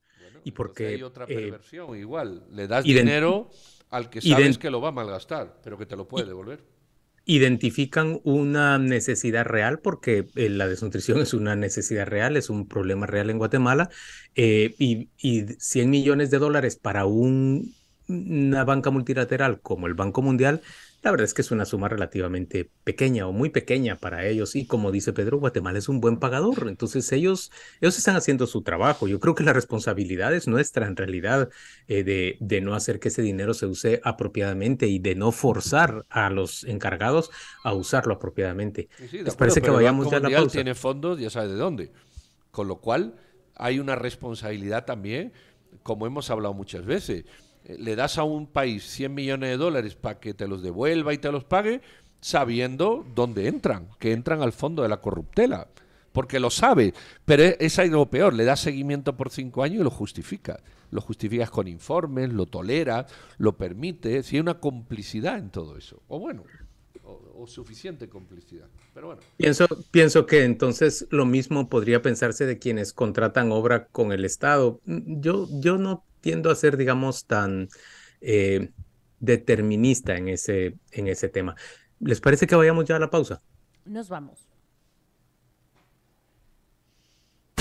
Este segmento es presentado por Productos Himalaya, porque el mejor cuidado proviene de la naturaleza. Miren, oyentes con criterio, el 23% de las personas sanas no fumadoras tiene tos, con o sin expectoración, cuando se levanta por la mañana. Mucha gente, una de cada cuatro es lo que nos está diciendo este informe, se levanta tosiendo, aunque ellos no fumen. Aún así, cuando se tiene tos durante el día repetidamente, cuando se tiene tos molesta o, no solo para limpiar las vías aéreas, hay que consultar al farmacéutico o visitar al médico. Y, y hay que saber también que basado en plantas y envuelto individualmente cada una de, de las pastillas de Coflet de Himalaya, contiene, contiene ingredientes estrictamente vegetales, ninguno de origen animal. Eh, es de fácil transporte en tu bolsillo o en tu bolso. No contiene aditivos, ni rellenos artificiales, ni aglutinantes. Las pastillas Coflet también son libres de estereato de magnesio, sin gluten, sin trigo, sin maíz, sin soya y sin lácteos. ¿Qué les parece a ustedes? Una maravilla las pastillas Coflet. Este segmento es presentado por Productos Himalaya, porque el mejor cuidado proviene de la naturaleza. Después de una pausa comercial, volvemos con más de Con Criterio, aquí en el 889. Ahora seré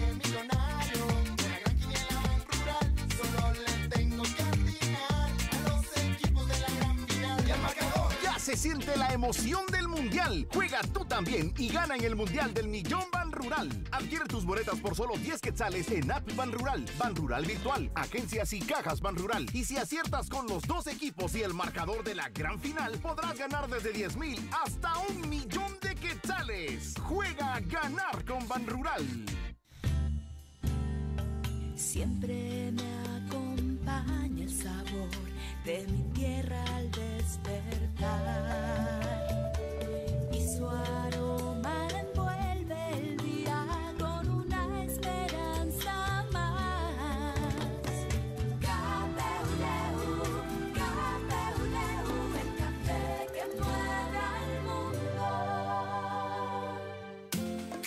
Consulta en línea el estado del pago de tu subsidio por suspensión médica. Ingresa a www.xgt.org, selecciona el botón Consulta de subsidio y completa tus datos. Así podrás verificar el estado del proceso de pago sin salir de casa, con acceso fácil y rápido. Mejoramos los servicios para beneficio de los afiliados y derechohabientes. Instituto Guatemalteco de Seguridad Social, IX. Cuando eres feliz, quieres que cada instante dure toda la vida. Por eso en el IRTRA nos esforzamos cada día para que cada momento que vivas sea el mejor momento. Porque sabemos lo que vale cada minuto de alegría. Por eso somos el mejor lugar para ser feliz. Porque aquí tienes todo. Vacaciones, paseos, fiestas y diversión. Como siempre lo soñaste. Ven a vivir tus mejores momentos en el IRTRA, la tierra del sí se puede. IRTRA es felicidad. Estamos de vuelta con más del programa Líder de Opinión en nuestro país. Con criterio, por Fabulosa 889. Oyentes con criterio, la nota que, traemos ahora preparada para ustedes se refiere a Manuel Valdizón, el ex candidato presidencial, ex diputado también, que encabezaba, se recuerdan ustedes, la Comisión Legislativa de, de Finanzas durante varios años. Eh, Valdizón, que está acusado de, corrupción y que ya purgó prisión por lavado de dinero en, Estados Unidos y fue deportado por Estados Unidos hacia Guatemala, Valdizón podría participar en, el proceso electoral. Pero según la nota que nos presenta José Manuel Pazán, mmm, carece de apetito, no tiene mucho interés para hacerlo. Veamos qué nos, qué nos dice este reporte. Reportero con criterio. Sandra Torres tiene el camino libre para continuar con su campaña política para las elecciones del 2023, una vez liberada del proceso judicial que se siguió bajo sospecha de financiamiento electoral de la Unidad Nacional de la Esperanza UNE, partido del cual es secretaria general. Ese panorama reafirma cómo los casos anticorrupción cambiaron de rumbo y el pronóstico es claro. No sería extraño que ocurriera lo mismo con Manuel Valdizón, ex candidato presidencial, aún señalado en dos casos de corrupción. Su abogado Saúl Centeno dice que no puede opinar sobre el rumbo que tomarán los casos, pero sí afirma que puede participar en política. Lo que ocurre es de que aún y cuando el Tribunal Supremo Electoral abriera la posibilidad, recordemos que está la Constitución y, y que eventualmente podría haber algún análisis ahí de idoneidad, ¿verdad? Lo que sí le puedo adelantar es de que por el principio de presunción de inocencia sí podría participar. Nada más que hasta donde tengo entendido no tiene intenciones de participar. En el caso transurbano a Valdizón se les indica de apropiarse de fondos públicos y privados para destinarlos a las campañas electorales. Sin embargo, fue beneficiado con arresto domiciliario después de ser ligado a proceso por el delito de financiamiento electoral ilícito. La jueza Virginia Amparo de León lo benefició al liberarlo de los delitos de lavado de dinero, asociación ilícita y financiamiento electoral no registrado. El Ministerio Público apeló la resolución pero aún no hay respuesta. Para la expresidenta del Tribunal Supremo Electoral, María Eugenia Mijangos, si el señalado no tiene una sentencia condenatoria por ninguno de los casos, puede participar en política para cualquier cargo, aunque dependerá de los criterios del Tribunal Supremo Electoral y la Corte de Constitucionalidad. Sí, porque él no tiene sentencia aquí todavía. Como le digo, es cuestión de criterio. Pero usted también puede venir y aplicar el 113 constitucional, aquel que dice que los funcionarios públicos tienen que llenar los requisitos de capacidad, idoneidad y honradez. Acuérdese que hay convenios contra la corrupción también. ¿Me entiende? Yo que lo analizara el caso, yo diría que no. Pero puede ser variable porque también puede ser que el criterio de ellos vaya a ser si no tiene sentencia en Estados Unidos, ya fue juzgado, ya cumplió su condena. En el caso Odebrecht, en el cual se le señala de recibir 3 millones de dólares en coimas por parte de la firma brasileña para la construcción de obras en Guatemala, no se ha definido una fecha para la audiencia de primera declaración. Valdizón ahora busca constituirse como creyente adhesivo y acusar junto con Alejandro Sinibaldi a exfiscales que investigaron el caso. A esto se suma que, a petición de la Fiscalía Especial contra la Impunidad, fueron anulados los testimonios de dos testigos brasileños que narraron cómo Valdizón se involucró en actos de corrupción. El ex jefe de la FESI, Juan Francisco Sandoval, dice que los fallos reafirman que los políticos involucrados en actos de corrupción son beneficiados por un sistema de justicia débil y si se cerró el proceso contra Sandra Torres, no sería raro que ocurra lo mismo con Valdizón. Una serie de ejemplos, este el caso del sobreseimiento en favor de la magistrada Blanca Stalin que permitió retomar funciones y pese a que existían sólidos elementos probatorios, les pasó con el caso de, del exdiputado Julio Juárez, un gravísimo caso donde perdió la vida un, dos periodistas. En el caso de Sandra Torres, la jueza de mayor riesgo A, Claudia Domínguez, consideró que no había sustento legal en la investigación del Ministerio Público. José Manuel Patzán, Radio con Criterio. Muy bien, ese es el reporte que nos ha ofrecido José Manuel Patzán y ahora le damos la, la bienvenida a Osvaldo Samayoa, abogado, investigador, amigo nuestro, quien tiene encendido el retorno y me parece que eso genera un poquito de eco. Bienvenido Osvaldo, gracias por acompañarnos. Muy bien, buenos días, bienvenido. No sé cómo es esto del retorno, Juan Luis, pero ahí Eh, ya te- te- tenías un audio encendido, pero... ah, no, no, eh, se escucha muy bien tu participación, bienvenido. Lo, lo que pasa es que lo estás seguramente viendo en computadora y, y la- y tu propia computadora pro- reproduce, pero ya, ya se oye mejor. Algo, algo cambiaste es que ya se oye mejor. Creo que será eh, eh, el volumen o algo por el estilo. pero ya, ya está, ya, ya funciona bien. Eh, Osvaldo, eh, entrémosle al tema. Desde un punto de vista jurídico, hay un antecedente, el del señor Portillo. Está el artículo 113 constitucional, que es interpretable, y otras cuestiones. Eh, si tú tuvieras que tomar una postura, eh, ¿puede el señor Valdizón participar con estos antecedentes y este artículo y la ley electoral?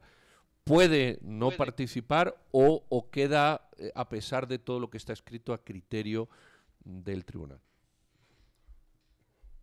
Pues mira, yo, yo creo que sí, la última parte de lo que, lo que tú dices queda a criterio del Tribunal Supremo Electoral.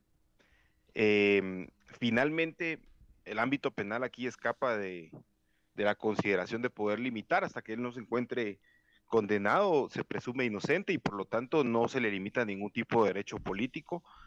Eh, y, y lo que queda aquí es la interpretación que los magistrados del Tribunal Supremo Electoral pueden hacer, bueno, primero el registro civil y luego el Tribunal Supremo Electoral, respecto de precisamente la idoneidad eh, y la honradez que sobre él, sobre él pese. Osvaldo, Eh, es que... Estos elementos son bastante subjetivos de calificar muchas veces, ¿verdad? Sí. Osvaldo, es que justamente lo que está citando eh, pareciera ser lo único, pero lo máximo que, que le queda a las instancias, a las instituciones. Hablo de Tribunal Supremo Electoral y en el eventual caso de que llegara a la Corte Suprema de Justicia y Corte de Constitucionalidad. Es el famoso 113 de la Constitución Política. ¿Es idóneo Sí. o no? Acusado en dos casos de corrupción, acusado Desde mi punto, desde mi, si, si, si yo fuera magistrado, digamos, tendría que decirles que desde mi punto de vista, más que idóneo, no llena el requisito de honradez por la sospecha, digamos, que se tiene al acusarlo y al estar sujeto a un proceso en donde se presume recibió algún tipo de, de- coimas o, o- o este cohecho que se puede haber eh, dado en este caso.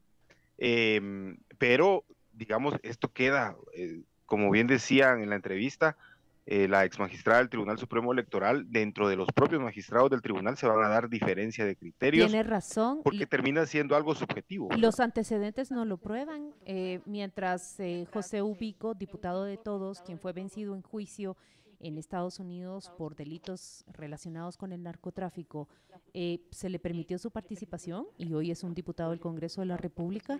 Alfonso Partillo, que estaba eh, también vencido en juicio por lavado de dinero, no se le permitió por ese mismo artículo. Es decir, hemos tenido fallos del tribunal que a unos les han dicho sí y a otros les han dicho no. Sí, porque recuerda que también hay fuerzas políticas alrededor de todo esto, ¿verdad? También hay sujetos que, que tienen eh, menos uh, rechazo de las diferentes élites y de la diferente fuerza política que le va a permitir participar y hay otros actores eh, que van a tener muchísimo más rechazo, más oposición a que puedan participar. Es el caso del señor Portillo con el caso del señor Ubico que tú ponías. Uno tiene mucho más rechazo político que el otro eh, y otros tienen mucha más conveniencia. Lo, lo cierto de esto es que no podemos penalmente limitar a una persona su participación. Por ejemplo, uno de los grandes, una de las grandes violaciones a los derechos políticos que se da en el país es que las personas en prisión preventiva no voten, por ejemplo, y ellos no están condenados, tendrían que tener la posibilidad de ejercer el voto, eh, pero solo con el hecho de estar en prisión preventiva ya se limita. Entonces tampoco podemos limitar a una persona que esté en proceso eh, con una medida de coerción a, no ejercer ese derecho político. Y entonces se vuelve esto algo bien subjetivo creo que deberíamos de tener alguna, algunos lineamientos de mejor interpretación de este artículo constitucional del 113 para que el propio tribunal te, siente una jurisprudencia que permita luego tomar decisiones mucho más objetivas o basadas en una doctrina específica de este tribunal. Osvaldo, lo que estoy entendiendo entonces es que vos crees que Alfonso Portillo se le impide ser candidato o inscribirse como candidato porque tiene porque hay mucha animosidad de la élite respecto a él, en, hacia él. Y en cambio, el señor Rubico es inocuo. Me pregunto entonces cómo va a ser visto el señor Valdizón. ¿El señor Valdizón irá a ser visto con malos ojos o con buenos ojos? Eh, falta ver que él quiera inscribirse o no para una candidatura, pero, pero no me cabe duda que sería un candidato con caudal electoral. Sin duda, sin duda. Y todas esas fuerzas políticas digamos, cuando, cuando estamos viendo decisiones de la Corte de Constitucionalidad y cuando estamos viendo decisiones del Tribunal Supremo Electoral, no podemos dejar de tomar en cuenta los contextos políticos, no podemos dejar de tomar en cuenta el ámbito de la, del, cómo se mueven también las fuerzas sociales eh, respecto de las implicaciones y los alcances que puede llegar a tener algunas decisiones. Y eh, el señor Valdizón, si toma la decisión de participar legalmente en una, digámoslo, si lo queremos ver en niveles, en un primer nivel no tiene impedimento y el segundo nivel, que sería el ámbito constitucional y electoral, ahí lo que se puede encontrar más que impedimentos es una discusión de los magistrados del Tribunal Supremo Electoral cargados de su propio contexto, con sus propias interpretaciones y con su propia postura sobre el 113 de la Constitución, que pueden llegar a dar un no eh, a su participación, que es amparable en la Corte Suprema de Justicia, y ya sabemos que la Corte Suprema de Justicia en este momento tiene muchísimas discusiones internas, muchísima fragilidad también, donde dudamos de su independencia muchas veces, y esto puede llegar a, ser apelable, esta, esta resolución de amparo de la Corte, frente a una Corte de Constitucionalidad. Entonces el camino es largo, yo creo que si él quiere participar va a tener que empezar a, a buscarlo ya, porque el camino para que se le permita participar es un camino bastante largo.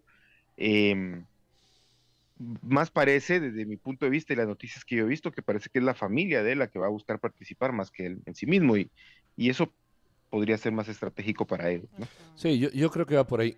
Hay otros factores alrededor, además de los, que, de los que hemos hablado. El factor número uno son los antecedentes penales. El factor número dos es, son, es el, el, ¿cómo se llama esto de la Contraloría? El finiquito de la Contraloría finiquito. y demás. El factor número tres es que a mí me gustaría que participara, mm, pero el señor está en prisión. Eh, ¿cómo, ¿Cómo se presenta un candidato que está en prisión? Y, me da la impresión, y el factor número cuatro, a mí me da la impresión de que el señor Valdizón no se va a someter otra vez a la catarsis que ya sufrió cuando iba a ser presidente, no lo fue y terminó un fin de semana en un hospital tratado por psiquiatras. Eh, eh, un señor ahora en prisión que regresa, yo creo que tiene un caudal de votos, pero si el caudal de votos cuando estaba el número uno no le sirvió, creo que el de ahora tampoco le va a servir y eso le afectaría enormemente. Esos cuatro pilares tienen algunos comentarios. Siempre, siempre tienen que ser identificables, ¿verdad? Siempre tienen que, buscarse. Ahora, lo que te decía, si nos vamos a ese, a esa primera, a ese primer nivel, yo puedo estar sujeto a una medida de coerción y puede ser la prisión preventiva, esta no debería de impedir eh, la posibilidad de la participación política porque no estoy condenado. Pero, pero, eh, lo dices bien, o sea, imagínate estar en una prisión preventiva, poder montar una campaña electoral, sería una cuestión, bueno, sí lo esperaría, en este país sí lo podríamos esperar que pueda suceder y, y también que pueda generarse toda una estrategia electoral ahora virtual, eh, no necesariamente de poder ir a los lugares. Imagínate a sus hijos haciendo campaña por él, imagínate él grabando mensajes de audio desde, desde prisión. Yo creo que sí hay opciones para que pudiera hacer esa campaña. Ahora. Parecerá locura también. Eh, sobre lo que decís, Juan Luis, parecerá locura lo que voy a decir, pero también me pregunto, ¿y cuántos votantes eh, se inclinarían por esa propuesta? ¿Y qué diría de nosotros la inclinación de sus votantes por una propuesta? Pero ibas a plantear una pregunta, Juan Luis, yo solo es le que, añadí. Es que mi pregunta, eh, Osvaldo, tiene que ver con, en realidad lo que estamos viendo es la, el retorno completo del péndulo de la lucha contra la impunidad y, y la corrupción. Esto solo es concebible porque lograron acabar junto con la CICIG con la FESI, con el ímpetu de, de combatir la, la, corrupción y la impunidad, porque tomaron el, el, Ministerio Público de la manera en que lo hicieron, no solo para frenar los casos de corrupción, sino incluso para combatir a quienes han combatido la, la corrupción y la han investigado, han expulsado jueces, han colocado jueces apropiados en, en su situación, eh, mantienen la alianza con la Corte Suprema de Justicia, tienen la mayoría en la Corte de Constitucionalidad. La verdad es que estamos frente a un, a un panorama eh, en el que gente como el señor Valdizón, el señor Sinibaldi, el señor Galdames, eh, se reivindican. Osvaldo, ¿vos crees que, esto eh, pueda prolongarse por mucho tiempo en, en, nuestro país, esta situación que estamos viviendo, y pueda ir mucho más allá? Sí puede prolongarse por más tiempo, pero también la fuerza política que, que representa toda esta, esta búsqueda de impunidad y de reestructuración de, de, ciertas, en ciertas instituciones de operadores para, para favorecer corrupción y corruptores también, eh, yo lo veo débil. O sea, yo, yo creo que es, bastante, es tan débil que necesita llegar a los extremos de buscar sacar a las personas del país o encarcelarlas, de amenazar con exilio o cárcel. Eh, es tan débil que eh, cuestiones que no tienen ningún fundamento penal las, las llevan a, al sistema de justicia. Y por lo tanto, podrá prolongarse en, el, en, las narrativas, podrá prolongarse en el discurso que mantienen y en algunas acciones que estamos viendo, pero yo creo que la mayoría de la población está bastante clara que la, la, la estructura tal y como fue develada no es la que debe de seguir conduciendo el país o no debe de conducirse así, eh, y que por lo tanto... Pero controlan vamos, el sistema electoral también.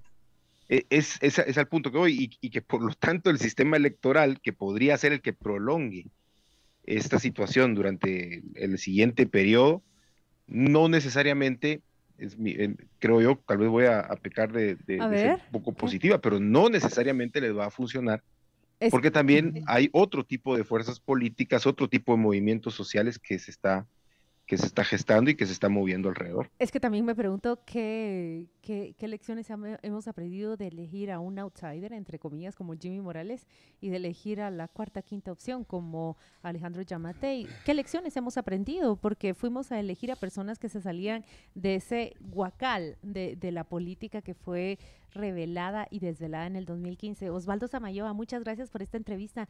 Nos vamos a despedir de ti. Te deseamos un buen jueves. Que esté muy bien, mucho gusto saludarlos, cuídense. Saludos. Fabulosa 889 está presentando Con Criterio. Ya regresamos. ¿Padeces falta de agua en la zona donde vives? Infórmalo en Concriterio y obtén la respuesta de las autoridades a tu reclamo. Escríbenos al WhatsApp con criterio 5155 7364 o al Facebook con criterio. Manuel Barrientos es una persona con discapacidad auditiva, usuario de lengua de señas de Guatemala y es parte de la comunidad de sordos del país que asciende a 230 mil guatemaltecos. La lengua de señas fue reconocida a través del decreto 3-2020 gracias a la incidencia del Consejo Nacional para la Atención de las Personas con Discapacidad. CONADI, 25 años de promover nuestros derechos. Ya es tiempo de vivirlos plenamente.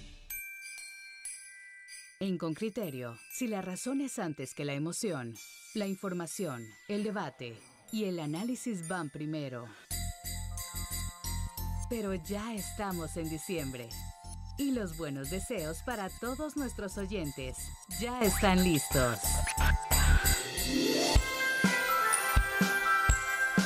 Es hora de abrir nuestros corazones y así juntos disfrutar de esta temporada.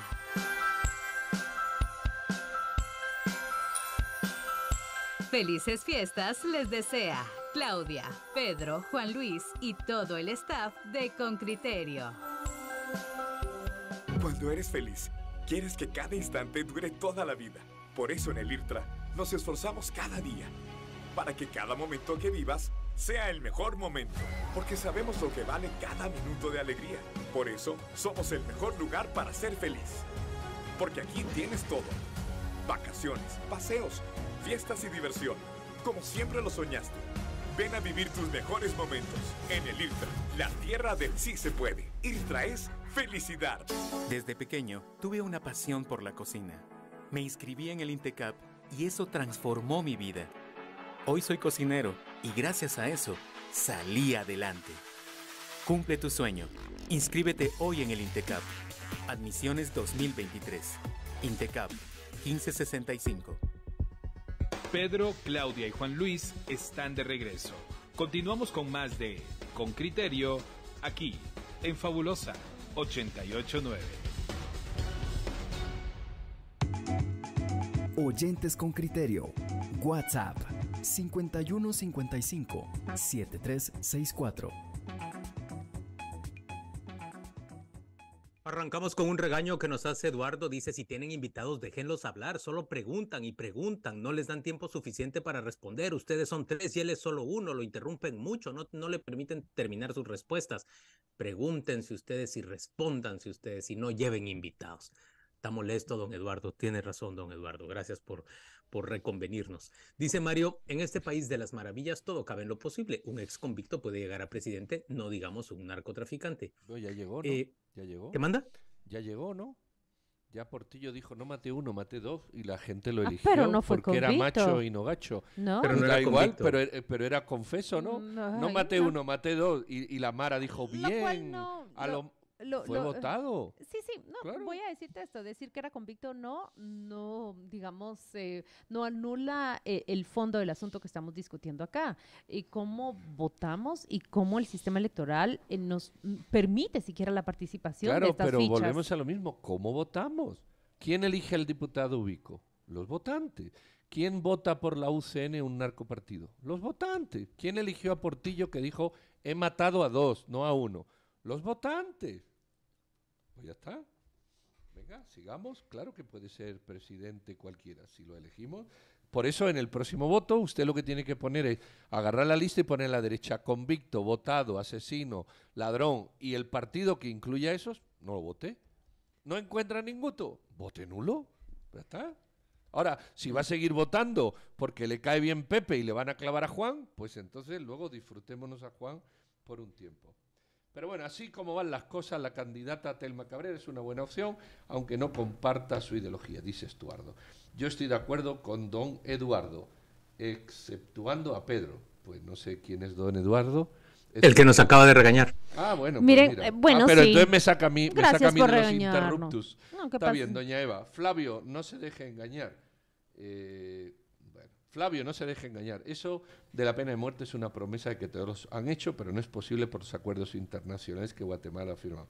No estoy tan claro, don Francisco, eh, aunque yo soy antipena de muerte, lo digo. Argelia, Chile, la pena de muerte está vigente en el Código Penal, no es nada nuevo, porque hay una persona previa que dice que hay un político, que es Roberto Azur, que eh, quiere restablecer la pena de muerte para los políticos. A ver si se pone la... la- ¿Esto se llama suicidio o establecimiento de la pena de muerte? Dice Juan Luis Orantes, pero él ya tiene a Carlos Pineda. Se está refiriendo al candidato del partido Cambio dirigido por los hijos de Manuel Valdizón y ese precandidato que con criterio ha presentado. José Orlando Guanam Ochoa dice, entonces podría participar don Mario Estrada.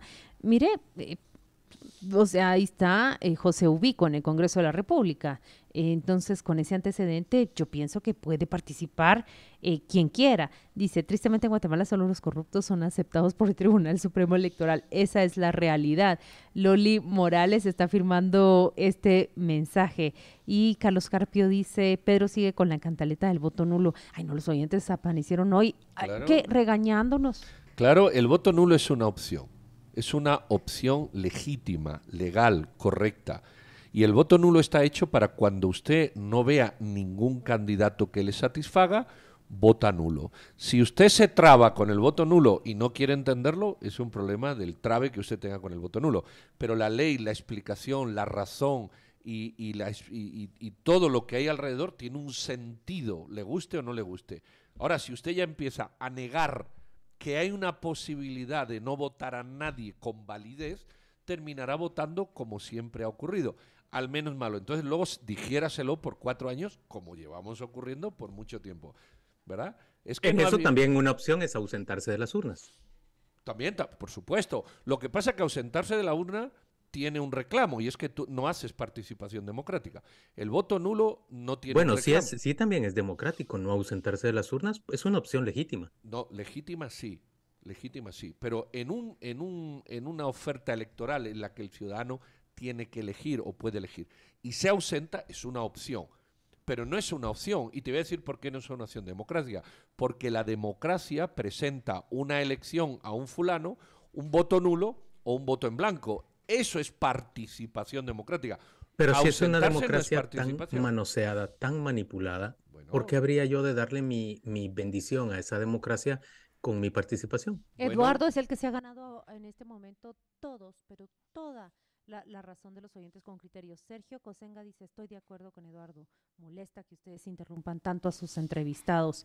Terminen dando lo que ustedes suponen que es la idea del entrevistado, en especial Claudia.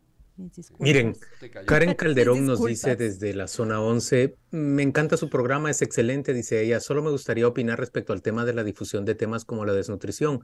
Concuerdo con Juan Luis, es imperativa la difusión de estos temas, comunicarlos, exponerlos, mostrarlos, eh, hacerlo de una manera que sea eh, vital, que sea ilustrativa para crear conciencia. Lo, lo peor que puede pasar es que estos temas queden invisibilizados. Tiene Y un toda la con, razón. Un oyente con muchísimo criterio se une a la conversación y dice, bueno, pero si participó Efraín Ríos Montt, responsable de quién sabe cuántas masacres, y quedó en tercer lugar, ¿por qué no lo venimos a preguntar a estas alturas? No, ahí tienes un ejemplo de, de- de participación de alguien decía antes y participó no sé quién y elegimos no sé cuánto. Pues ya está. Sí, ahí está. Y, y lo votó gente, ¿no? Pues la gente Y fue el votó- partido de Ríos Montt el que nominó a, a, a Alfonso Portillo y gobernaron junto a él. Así es. Entonces, ¿por qué en el 2022 nos estamos preguntando si el otro podía, podría participar? Nos vamos a la pausa comercial, pero entiendo que alguno de nosotros tiene un mensaje importante antes de irnos. Pero, pero antes de, antes de pasar ese mensaje importante, ventanas, gracias a Dina Armas por hermosa Venga por que nos a envía de un- Ah, Continúa, Juan Luis. la hermosa fotografía que nos envía de un eh, arco iris en el valle de, Guatemala. Dice que el chipichipi que está cayendo en, en el valle ha generado esto. Eh, Vicky, que, que fue a Vicky a quien le dice, Claudia. No, no, no leía Vicky. Es que Vicky dice que ama a los conductores de Con Criterio, pero es cierto lo que dijo Eduardo, que interrumpen demasiado a los, a los entrevistados. Eh, y Ana Lucía Arroyave, quien ha reaparecido, dice que desde que tiene uso de memoria ha visto las mismas caras en las papeletas y no bonitas precisamente. Y el Eh, video de. Cardales con una cola que ya llega una cola de 300 metros para ver a Don Bad Bunny. ¿No la Por visto? Dios santo, Uy, yo qué creí que iba a popularidad la de decir, Don Bad Bunny. Desde que tengo uso de memoria empezó este programa y miro las mismas caras y no bonitas, precisamente Pedro y Juan Luis, hombre. Muchas gracias a los oyentes El con problema es que criterio. tiene un espejo ahí en la, en la computadora. Ese es su problema. Vamos Ay, con la mención, Luis, vamos con la hombre. mención. Librería Sofos. Abrimos ventanas, acercamos mundos. Venga por sus libros a Plaza Fontavela Zona 10 o pídalos en tienda.sofosenlinea.com a cualquier parte del país. En realidad vengo a recomendarle este título si usted está pensando en un regalo en esta Navidad para alguien muy especial. Nunca, nunca este libro va a salir de los más recomendados. Y yo particularmente se lo quiero sugerir si tiene algún estudiante universitario, tercer, cuarto año, si tiene algún sobrino, un hijo que está en, en- esa... eh, frontera entre ser un adulto, pero aún es, es un joven, o quizás en la frontera de, de ser un joven, pero todavía está allí, recién salido del colegio, el hombre en busca del sentido. Este muestra cómo circunstancias muy difíciles pueden darle un sentido a la vida. Con Sofos, nosotros preparamos una lista de libros que puede regalar en Navidad. Visite ese listado de regalos, le aseguramos que no va a quedar mal. Librería Sofos. Abrimos ventanas, acercamos mundos. Venga por sus libros a Plaza Fontavela Zona 10 o pídalos en tienda.sofosenlinea.com a cualquier parte del país. Fabulosa 889 está presentando Con Criterio. Ya regresamos.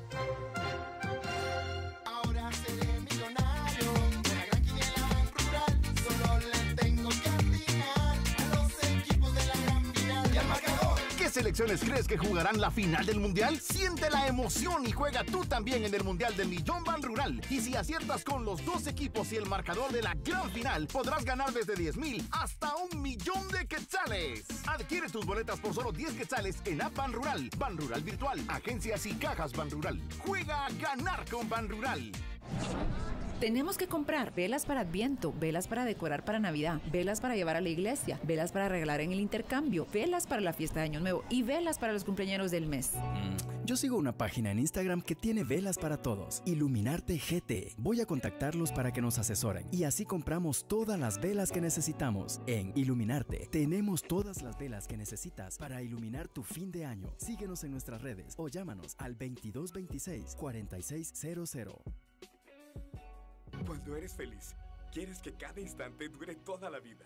Por eso en el IRTRA nos esforzamos cada día para que cada momento que vivas sea el mejor momento. Porque sabemos lo que vale cada minuto de alegría. Por eso somos el mejor lugar para ser feliz. Porque aquí tienes todo. Vacaciones, paseos, fiestas y diversión. Como siempre lo soñaste. Ven a vivir tus mejores momentos en el IRTRA, la tierra del sí se puede. IRTRA es felicidad. Gané, gané, gané, gané, gané, gané. Tú también puedes ser uno de los ganadores semanales. Actualiza tu NIT y gana con EXA. Participa ingresando a conecta.exa.com. Actualiza todos tus datos y gana celulares, televisores de 40 pulgadas y estufas ahorradoras de inducción. ¿Qué estás esperando para participar? Para más información, comunícate al teleservicio o con nuestro chatbot Sony al 2277 7000 de EXA. Celebremos los 75 años de Piedra Santa y el regreso de Filgua presencial. Piedra Santa te invita a conocer las últimas publicaciones y novedades de las mejores casas editoriales a nivel internacional. Ensayo, literatura, divulgación, literatura infantil y juvenil te acompañarán este fin de año. Visita nuestro stand y disfruta las actividades culturales para niños, niñas, jóvenes y adultos, con autores de Guatemala, Suecia y El Salvador. Estamos de vuelta con más del programa Líder de Opinión en nuestro país. Con criterio, por Fabulosa 889. El segmento de finanzas personales es presentado gracias a El amigo que te ayuda a crecer. Hoy le damos la bienvenida a Elaine Miranda, nuestra amiga nicaragüense. Ella es fundadora y directora de Plata con Plática. Y hoy queremos hablar de un tema que, a ver si le levanta roncha a Pedro, es mujeres y finanzas. ¿Qué tal, Elaine? ¿Cómo estás? Hola, hola, súper contenta. de estar aquí finalmente en persona, de estarlos conociendo. Emocionadísima, la verdad. Ah, qué alegría y qué lamento no estar yo allá para poderte conocer y, y, y bueno, darte un abrazo. ¿Verdad? No ¿Tú, va has a hacer visto, falta. ¿Tú has visto los prejuiciosos estos que siempre dicen un tema que le, le- que le levanta ronchas? Si yo os dijera con mis parejas cómo he funcionado yo con el tema económico, os asustaríais. No lo creerían. Porque son Pero, unos pero es que todo lo que se refiera, digamos, a, a, por ejemplo, finanzas para mujeres, Pedro lo considera de corrección política o, o hablar, digamos, de cambiar patrones eh, heteropatriarcales. Y de hecho, se, bus- se, se burla del término heteropatriarcal. Claro, y- y- porque, porque si se hablara del- con la misma intensidad del término heteromatriarcal, yo lo entendería. Porque además vivimos en sociedades puramente matriarcales. Lo que Me pasa es que hay un rollo con el heteropatriarcalismo. A- Pero bueno, vámonos Ay, a las heterofinanzas, que es mucho, que es mucho más útil que la discusión nuestra. Ya- yo, yo le advertí a Ela, es que es un ferry opositor, pero ahora ya está comprendido, Ya ¿verdad? ahora entendí que Claro. todos los temas él va a encontrarle, como nosotros decimos, el pelo en la sopa. Absolutamente, absolutamente. Mira. Bueno, cuéntanos el libro Mujeres de Finanzas. Primero, ajá, sí, aquí tenemos el libro Mujeres y Finanzas que, por cierto, presentas hoy en Sofos. Y yo la Sí. pregunta que tengo es, ¿de verdad somos diferentes para llevar las finanzas las mujeres? Te voy a responder otra pregunta que me hacen mucho. ¿Qué pasa si el libro lo lee un hombre, por ejemplo? Y la respuesta es que igual te serviría. Seguro. O sea, el, el- el conocimiento, los formatos, las fórmulas, e- eso es, eso es para ambos. ¿En qué lo diferencia o por qué un libro de finanzas para mujeres? Lo que sucede es que las mujeres sí tenemos como ciertas condiciones particulares que hacen que el tema del manejo del dinero sea un poquito más difícil, un poquito más desafiante y un poquito más relevante. Entonces, por un lado, en, cuanto a lo que lo hace relevante, ¿ustedes sabían que el 87% de los pobres en el mundo son mujeres en la tercera edad? Es, es un dato impresionante. Y yo siempre digo a las mujeres, si nosotras queremos eliminar eso, tenemos que empezar hoy. O sea, vos comenzás a prepararte para tu retiro en tu primer trabajo, no comenzás a los 50, 60 años cuando ya no tenés mucho que hacer. Y así hay, un montón de estadísticas, ¿verdad? La- el, gap que hay entre la brecha salarial, ¿verdad? Entre hombres y mujeres y demás. Eso en cuanto a la, a la, a la dificultad. Ahora, por otro lado, tenés también el tema de que a las mujeres en general no nos gusta hablar de dinero, o sea, a los hombres tampoco, pero a las mujeres es todavía más difícil y siempre que tenemos la posibilidad preferimos que alguien más se haga responsable de esos números, o el papá o el esposo, o- y yo he tenido mujeres que me dicen, mira, me encanta y todo, pero llevo finanzas compartidas con mi marido, mi marido se hace cargo de todo, es súper buen financiero, él paga todo, y digo, qué bueno, o sea, est- esto no es un asunto de, de pelea, ¿verdad? Y quién es mejor que el otro, el asunto es que es muy probable que en algún momento de tu vida te toque por tu cuenta, o sea, el- la tasa de divorcio está al alza, entonces aunque ahorita todo vaya muy bien y tu marido sea un excelente administrador, no quiere decir que siempre sea así. Y, lo Y yo por el contrario tengo amigos, y Lane, ya me van a regañar por interrumpir a, a- No, no, a no, nuestra no, no. Pero, pero también tengo amigos que confían en la administración de las finanzas de, de su esposa, prácticamente que Totalmente. todos los ingresos del hogar son administrados por, por la esposa y, y- y se llevan muy bien en ese plano. No hay, no pareciera haber disputa en torno a esto, pero estas son las excepciones, ¿verdad? Sí, no, no, totalmente. Y, y una pregunta que me hacen seguido es quién es mejor, los hombres o las mujeres para administrar el dinero. Y la verdad es que no existe, o si el hombre o la mujer, o sea, depende mucho de la pareja. Y yo tengo parejas de amigos en los que la mujer se hace cargo de todas las finanzas y parejas de amigos en las que es el hombre. E igual funcionan. Yo creo que el kit es encontrar quién es dentro de tu pareja esa persona ideal, aunque lo ideal en realidad es que sea entre los dos. Yo, yo lo que veo, yo, yo te voy a decir cuál es mi punto de vista. Yo soy un convencido de que la mujer administra infinitamente mejor el dinero que el hombre. Yo. Y de hecho mis parejas lo han administrado ellas. Yo nunca he administrado nada. Y es más, me ha parecido machista, eh, dominante diría yo, no me gusta la palabra machista, dominante la, eh, la, la cosa de, ay, voy a sa-". yo tenía un compañero que salíamos de estudiar y decía, ay, voy a- pasemos al cajero. Y yo siempre decía, mano, que es viernes, son la una. Es que tengo que darle dinero a mi mujer. ¿Cómo que le tienes que dar? El dinero se comparte. Él no lo veía así. Ahora, esa mejor, y esta es la pregunta, esa, y yo lo creo, esa mejor administración de la mujer es en un mundo de roles. Totalmente. Si la mujer, vamos a decirlo así, eh, organiza la casa, es evidente que lo va a administrar mejor que un hombre que, que está cinco minutos. ¿Cómo compaginar esto? Es la administración con los roles, porque si no los separas, también creas un mundo de roles. Totalmente, pero en el caso de las finanzas y las mujeres, yo creo que no es tanto un asunto de roles, aunque muchas cosas son impuestas, sino más bien es como un llamado a hacernos responsables y cargo de eso, porque puede que te cases y puede que no te cases. Em, puede que te divorcies o puede que continúes junta. Y el libro, muchas, muchas veces me han preguntado, ¿para quién es? La puede leer mi hija de 18 años, perfectamente lo puede leer porque sabes que todas las personas nacemos con una relación con el dinero y morimos con una relación con el dinero, la cultives o no. Si la cultivas te va a ir mejor, pero la mayoría no lo hacemos. Entonces, esto es un más bien cómo yo hago para administrar bien mi dinero independientemente de todas las otras circunstancias que pasan alrededor de mi vida. Y pensarlo así, cualquier independencia comienza por la financiera.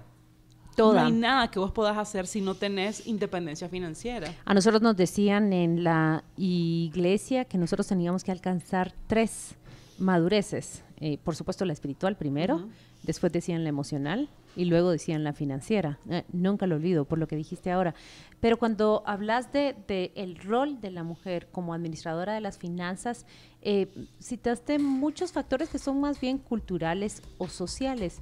Ahora mi pregunta es, naturalmente, nuestro cerebro, que puede ser distinto, está diseñado con unas fortalezas y unas debilidades sobre cómo manejar eh, eh, la plata. Mira, lo que, lo que está comprobado es que las mujeres en general tendemos a ser más conservadoras con el dinero. Entonces, cuando vos le preguntas, que el hombre, ¿verdad? Cuando vos le preguntas a una mujer, ¿para qué quiere dinero? ¿Para qué está ahorrando? Las mujeres siempre van a enlistar dos grandes cosas. Casa y si vos lo pensás, la casa lo que te da es como esa protección, no esa seguridad y ahorros. Ahorros por cualquier cosa, un ahorro de emergencia, aún por si algo me pasa. Cuando vos le preguntas a los hombres para qué está ahorrando, el hombre siempre te dice invertir, poner un negocio, poner a trabajar mi dinero. Y por supuesto, invertir lleva mucho más riesgo que, que tener el ahorro seguro. Entonces, en ese sentido, las mujeres solemos ser mucho más conservadoras con cómo queremos utilizar nuestro dinero y menos arriesgada. Y por eso muchas veces las parejas también discuten porque cuando llegan a tener cierto monto y el hombre, por ejemplo, dice, ah, mira, invirtamos esto, me salió este negocio, no sé qué, la mujer se siente más recata de decir, pero espérate, no hemos terminado de pagar la casa, o espérate, primero salgamos de la deuda, o espérate. Y ahí lo que digo, lejos de vernos como contrincante y decir quién es mejor, quién es peor, qué es correcto o incorrecto, hay que vernos como complementarios. Entonces, por ejemplo, si yo soy una persona más conservadora que mi esposo, y él es más arriesgado, cómo aprendo yo a, tomarme un poquito de riesgo y él también aprende a, saber que la seguridad familiar es importante. hay, un tema transversal que sí que creo que destaca por sobre todos estos que tú pretendes equilibrar con mucha, con mucha razón. Es el tema de los hijos. Eh, eh, la maternidad es tan diferente a la paternidad, te lo dice quien tiene cinco, tan diferente a la paternidad que yo creo que sí hay un elemento ahí biológico que hace que la mujer tenga un sentimiento superior de protección, que seguramente incide en las finanzas, el colegio, la, ropa, exacto, la alimentación, y, no sé si hay otros, pero ese en particular a mí me parece eh, un pilar fundamental y a lo mejor hay muchos más. No, no, totalmente de acuerdo. O sea, al final el tema de la finanza es afectado por, por, nuestras emociones, nuestros sentimientos, nuestros pensamientos y también por todo lo externo. A veces pensamos que la finanza es algo como superfluo, como algo que está por encimita, pero si vos lo pensás bien, todas las cosas importantes en tu vida de alguna manera implican dinero.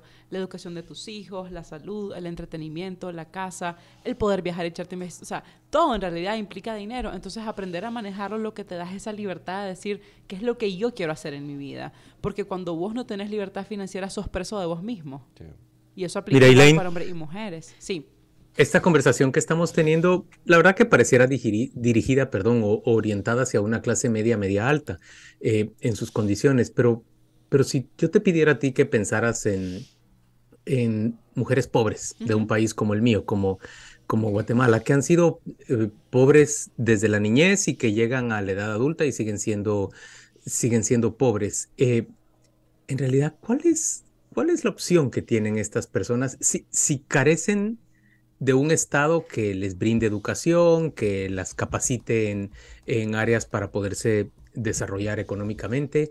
¿Cuál es la opción que tienen estas personas para ser, digamos, buenas administradores. Yo veo la, realidad de la, de la mayoría de las mujeres guatemaltecas, y oigan lo que estoy diciendo, ya hablo de la mayoría, es que dependen mucho de una remesa que proviene de, Estados Unidos y, de administrarla apropiadamente.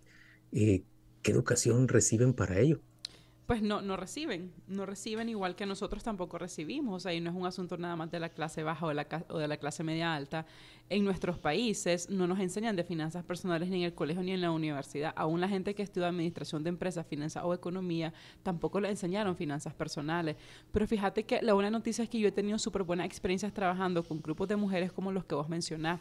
En Nicaragua particularmente, durante 3, 4 años, desde el 2015 al 2019 más o menos, trabajé con un grupo de mujeres en una zona bastante remota en Nicaragua. Eh, eran 12 mujeres y una, una ONG les enseñó un oficio y era hacer como pulseras, cadenitas de hilo, de, de- semillas naturales y demás. De esas mujeres habían dos que no sabían leer y escribir y el resto tenían como una primaria aprobada nada más. Entonces yo estuve trabajando con ellas bastante tiempo, ayudándoles a cómo fijar un costo, cómo pones un precio, cómo calcular, o sea, hasta hacer un mini estado de resultado súper sencillo, ¿verdad? Yo vendí todo esto, a mí me costó esto, a mí me quedó esto. Y después de unos años, esas mujeres lograron haber un certificado de depósito por 5 mil dólares. Mujeres que en su vida habían trabajado en nada más, que nunca habían tenido dinero para... O sea, ni lo que vos decís de mi amigo le fue a sacar el- al cajero, nada. O sea, ahí sí, el marido trabajaba, pero ellas nunca veían dinero pasar. Y todo fue un era- proyecto de cinco años, decís. Fue un proyecto de cinco, Cinco años. años en el cual a los cinco años tenían certificados de depósito por cinco mil dólares. Qué Sí. interesante proyecto. Miren, Elaine Miranda, que es fundadora de Plata con Plática, y si usted es un oyente con criterio habitual, eh, la conocerá, está desde el año cero con nosotros. Muchas gracias por esa compañía, Elaine, ha sido tan valiosa. Te están ¿Dónde- preguntando si tu eso. libro está en digital, dónde lo consiguen, Sí. y cerremos esta entrevista con la información de, de la charla que tenés hoy en Sofos, por favor. Sí, lo pueden encontrar en digital, en Amazon, a través del Kindle lo pueden descargar, lo pueden de- encontrar físicamente en la librería Sofos también y hoy a las 7 de la noche en Sofos vamos a tener una presentación, voy a estar hablando más profundamente de este tema de las mujeres y las finanzas y de cómo hacerle y nada, el libro va a estar disponible también ahí para que lo compren, si quieren también firma, foto, con gusto y, por ahí va a estar. Qué alegre. Elaine eh, Miranda ha estado de, de viaje por Guatemala, pero un viaje muy productivo. Nos estaba contando que ayer asistió a las capacitaciones financieras de una fábrica, podemos decir, ¿verdad? Una fábrica grande y mm, dichosos esos alumnos. Me pregunto qué fue lo que mejor y más aprendieron ayer. Muchas gracias por acompañarnos. Gracias por venir aquí. Perdón, Claudia, solo, solo una pregunta que hace un oyente, Julio Paz. Eh, Elaine, tú recomendaste un libro para adolescentes, para finanzas para adolescentes, y él y nuestro oyente no pudo apuntar el nombre. ¿Tenés alguno? ¿Te- lo, ¿Lo puedes repetir? Creo que fue Claudia la que estaba recomendando Ah. el libro antes de entrar al... El libro que recomendé antes Sí. es El hombre en busca del sentido, de Víctor Ah, Frankl. No, no, hablaba uno, un, un libro para adolescentes. Es- ese es el que mencionaste entonces, Es un eh, buen El hombre en busca de sentido. Sí, un adolescente mm, quizás entrando a la universidad. Le va, le va a encantar. Ah, perdón, entonces vamos a la pausa. Gracias, Elaine. Hasta luego. Gracias. El segmento de finanzas personales es presentado gracias a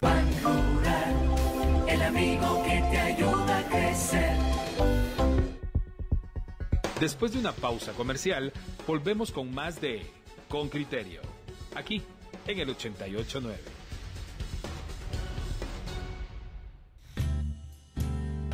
Siempre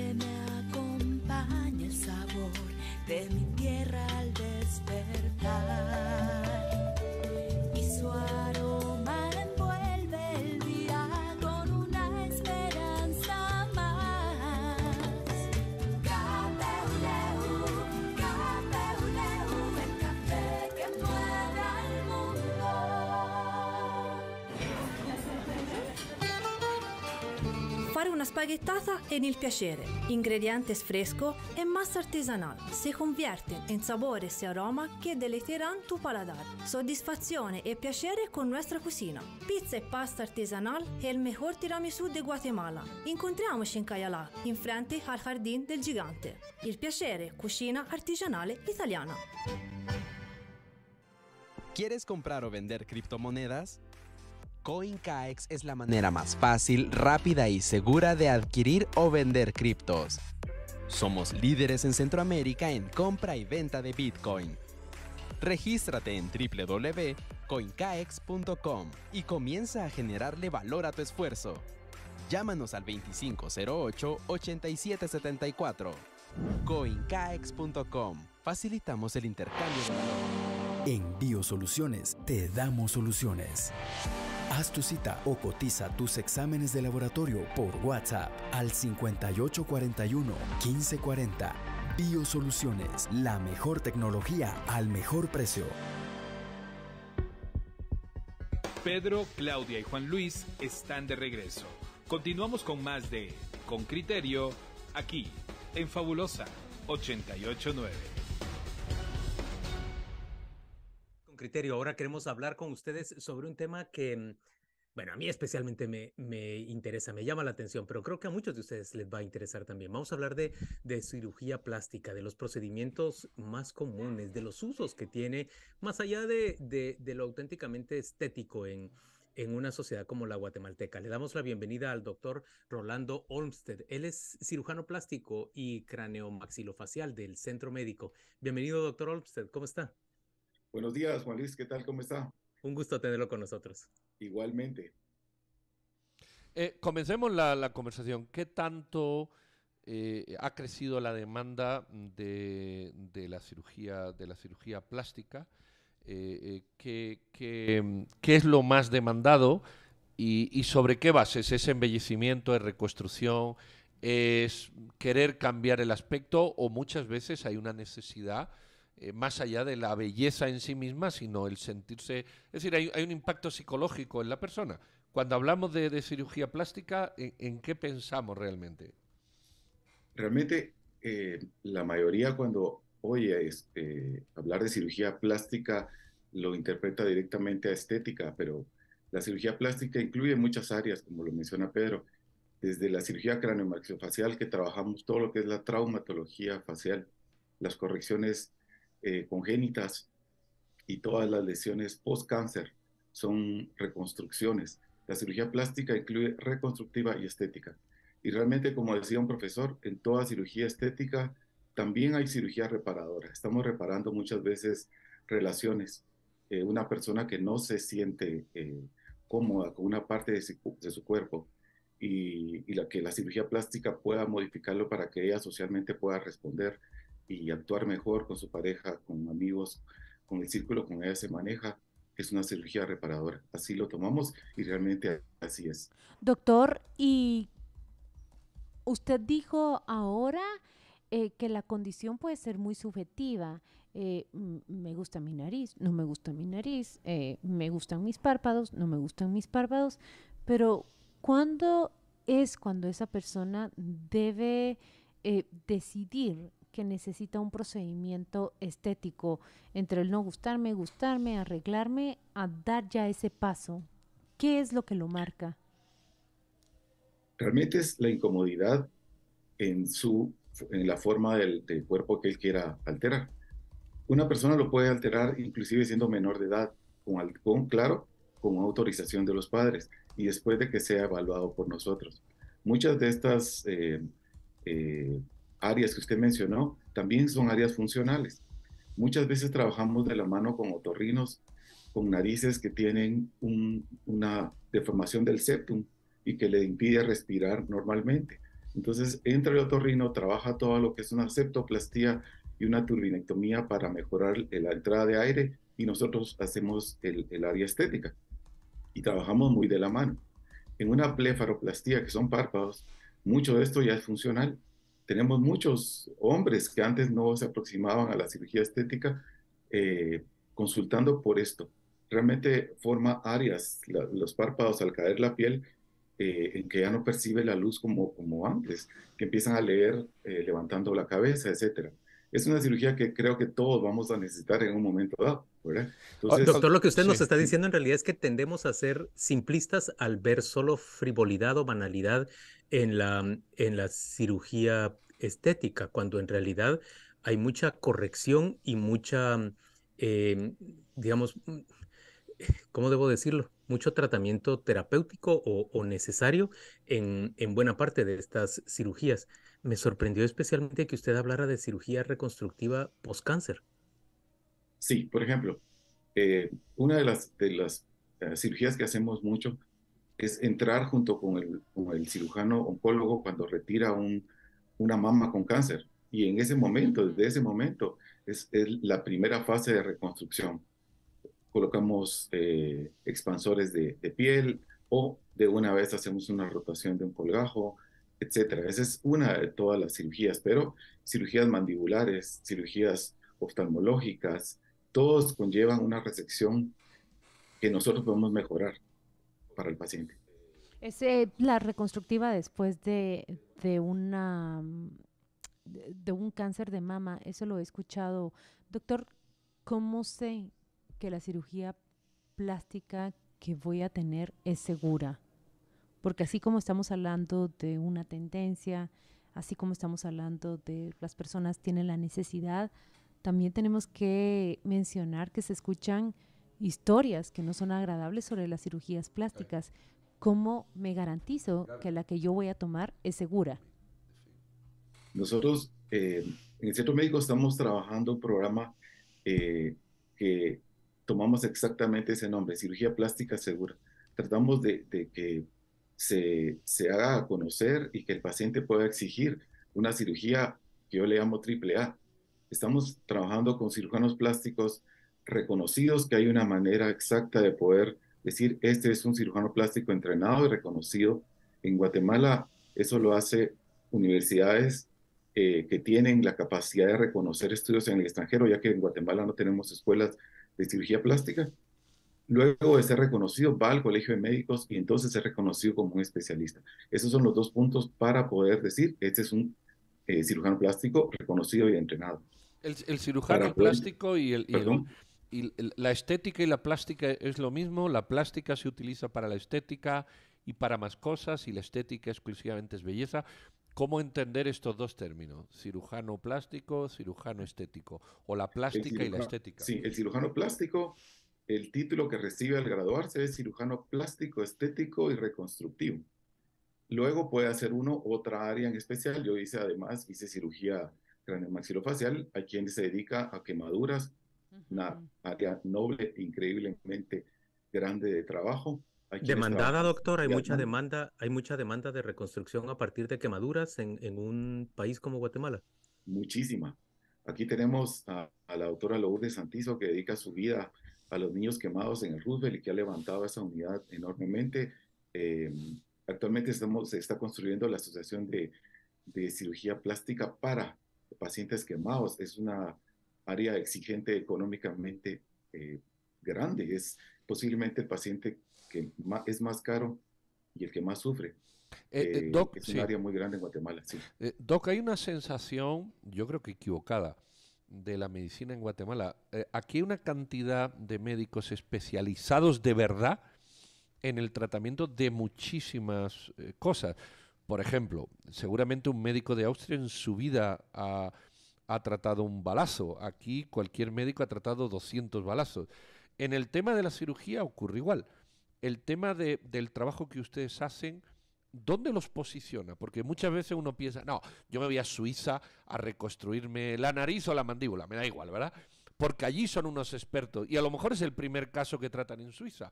¿Qué experiencia tienen aquí ustedes, los doctores, en su caso con la reconstrucción masilofacial, en el caso de otros con otras con otras especialidades que nos, nos posicionan como un país receptor de personas que quieran acceder por, por, estética o por plástica a este tipo de intervenciones? Desde que somos estudiantes. Eh, eso no lo tienen otros países. Nosotros estamos eh, por necesidad en los hospitales públicos trabajando con pacientes desde que estamos en el cuarto año. Y cuando entramos a las residencias, tenemos una cantidad de pacientes a la que no nos damos abasto.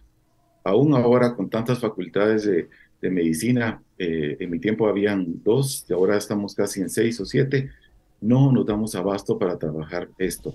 Entonces llevamos una experiencia muy grande al momento de realizar estudios fuera, al comparar nuestra experiencia, de, como les digo, desde estudiantes o desde médicos graduados ya con especialidades en cirugía, llevamos una ventaja grande en, el, en lo que es el tratamiento, no solamente de experiencia, sino créanme que en el tratamiento del paciente como ser humano. Eso nos diferencia bastante. Qué impactante, doctor. doctor. Ajá. ¿Saben qué me sorprende, Pedro, Juan Luis y, y doctor Romsted?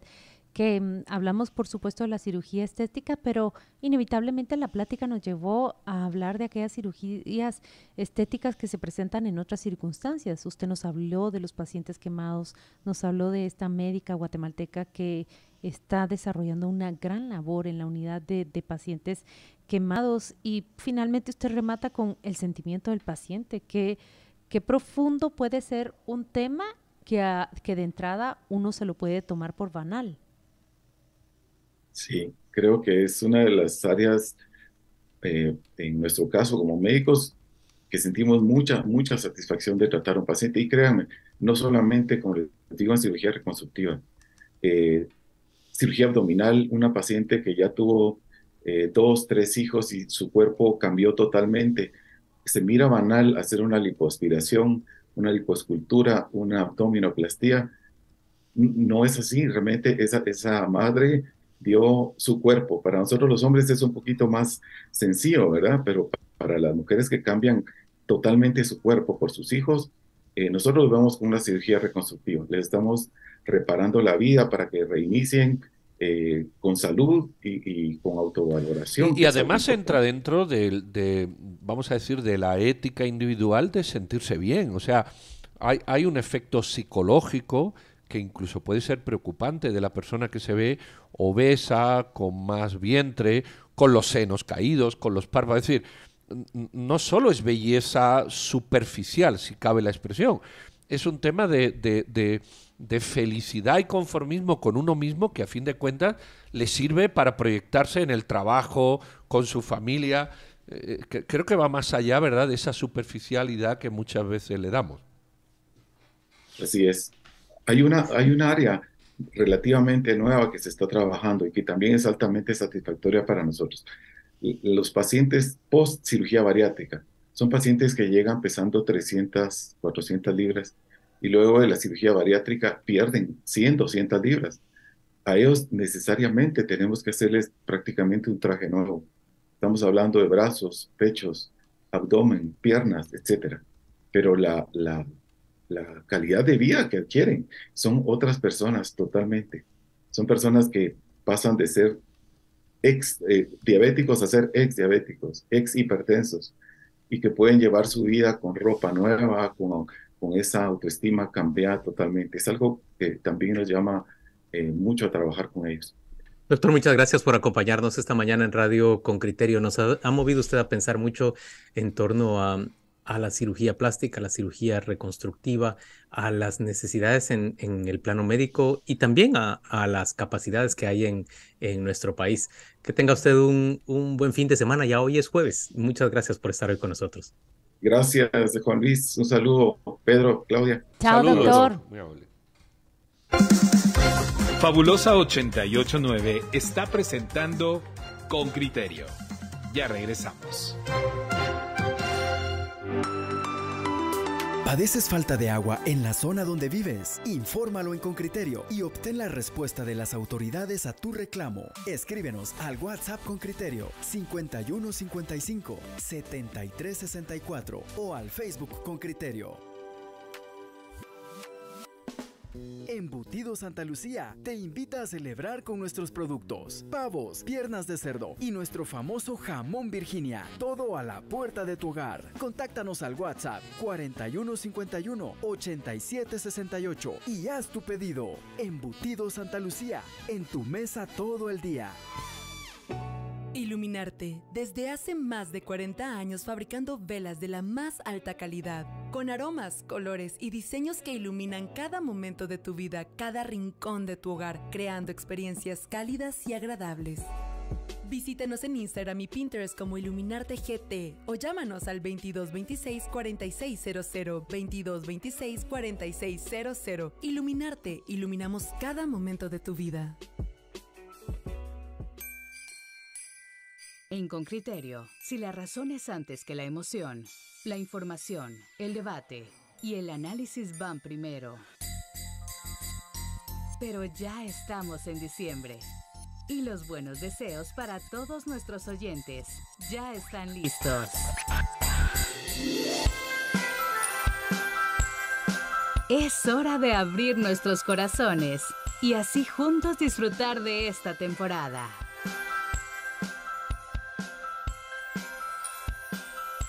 Felices fiestas les desea Claudia, Pedro, Juan Luis y todo el staff de Con Criterio. Cuando eres feliz, quieres que cada instante dure toda la vida. Por eso en el IRTRA nos esforzamos cada día para que cada momento que vivas sea el mejor momento, porque sabemos lo que vale cada minuto de alegría. Por eso somos el mejor lugar para ser feliz. Porque aquí tienes todo. Vacaciones, paseos, fiestas y diversión, como siempre lo soñaste. Ven a vivir tus mejores momentos en el IRTRA, la tierra del sí se puede. IRTRA es felicidad. Estamos de vuelta con más del programa Líder de Opinión en nuestro país. Con criterio, por Fabulosa 889. Oyentes con criterio. WhatsApp 5155 7364. Miren qué bonito este mensaje. Patricia nos dice, nuestros médicos son únicos. La unidad de quemados del Roosevelt es muy buena y la de Amatitlán excelente. Oyentes con criterio, a partir de esta conversación con el doctor Olmsted, nosotros vamos a hacer una cobertura sobre esas unidades de, de atención a pacientes que sufren quemaduras y, ojalá vamos a, a hacer un, un programa eh, en este mes de diciembre que, se enfoque en prevenir esas quemaduras. Supongo que un volumen relevante de, de las quemaduras grandes provienen de, de, este mes por la cercanía con, con el fuego, los cohetillos. Eh, hay muchas razones para que puedan incrementarse las, las quemaduras en estos días. Vamos a enfocarnos en eso. Lisette dice, excelente entrevista con el cirujano plástico, por esa y mucha me encanta escuchar este programa. Sigan adelante. Tengo entendido, dice Argelia, que también hay problemas psicológicos que resolver en las personas que no se aceptan tal cual son, ¿cierto? Bueno, ahí han puesto un ejemplo de, la, de personas obesas, pero vamos, hay otras eh, de personas que no se ven, no se sienten cómodas con su aspecto y evidentemente están en su derecho de, de modificarlo. Eh, bueno, hay, hay también comentarios anteriores respecto al, al, a la manera de, de, votar y al 51% que se requiere el voto nulo. No, no tiene nada que ver con ese tema, pero, pero, pero también, también, también siguen comentando.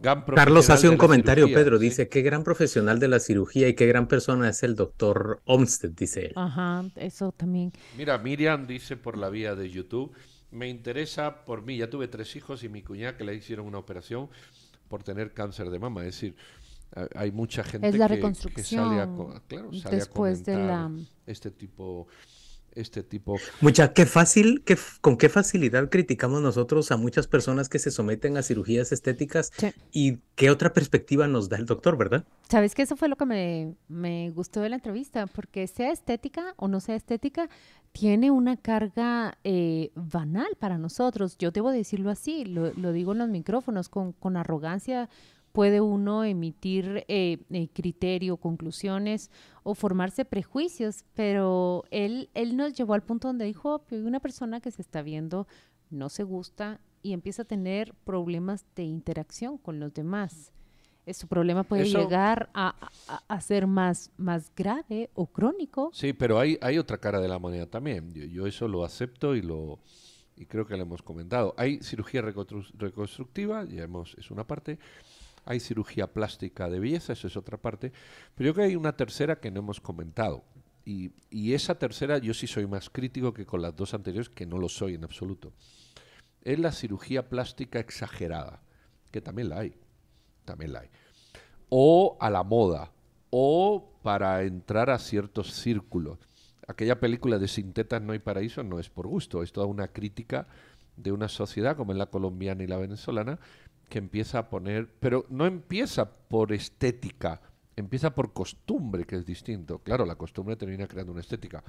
Empieza a poner senos artificiales a sus hijas de 14, 15 y 16 años como regalo de 15 años porque culturalmente ese es el, formato de aceptación. A mí me parece que esa tercera, o sobre todo mujeres, que se ponen unos traseros realmente, eh, ¿cómo te diría yo?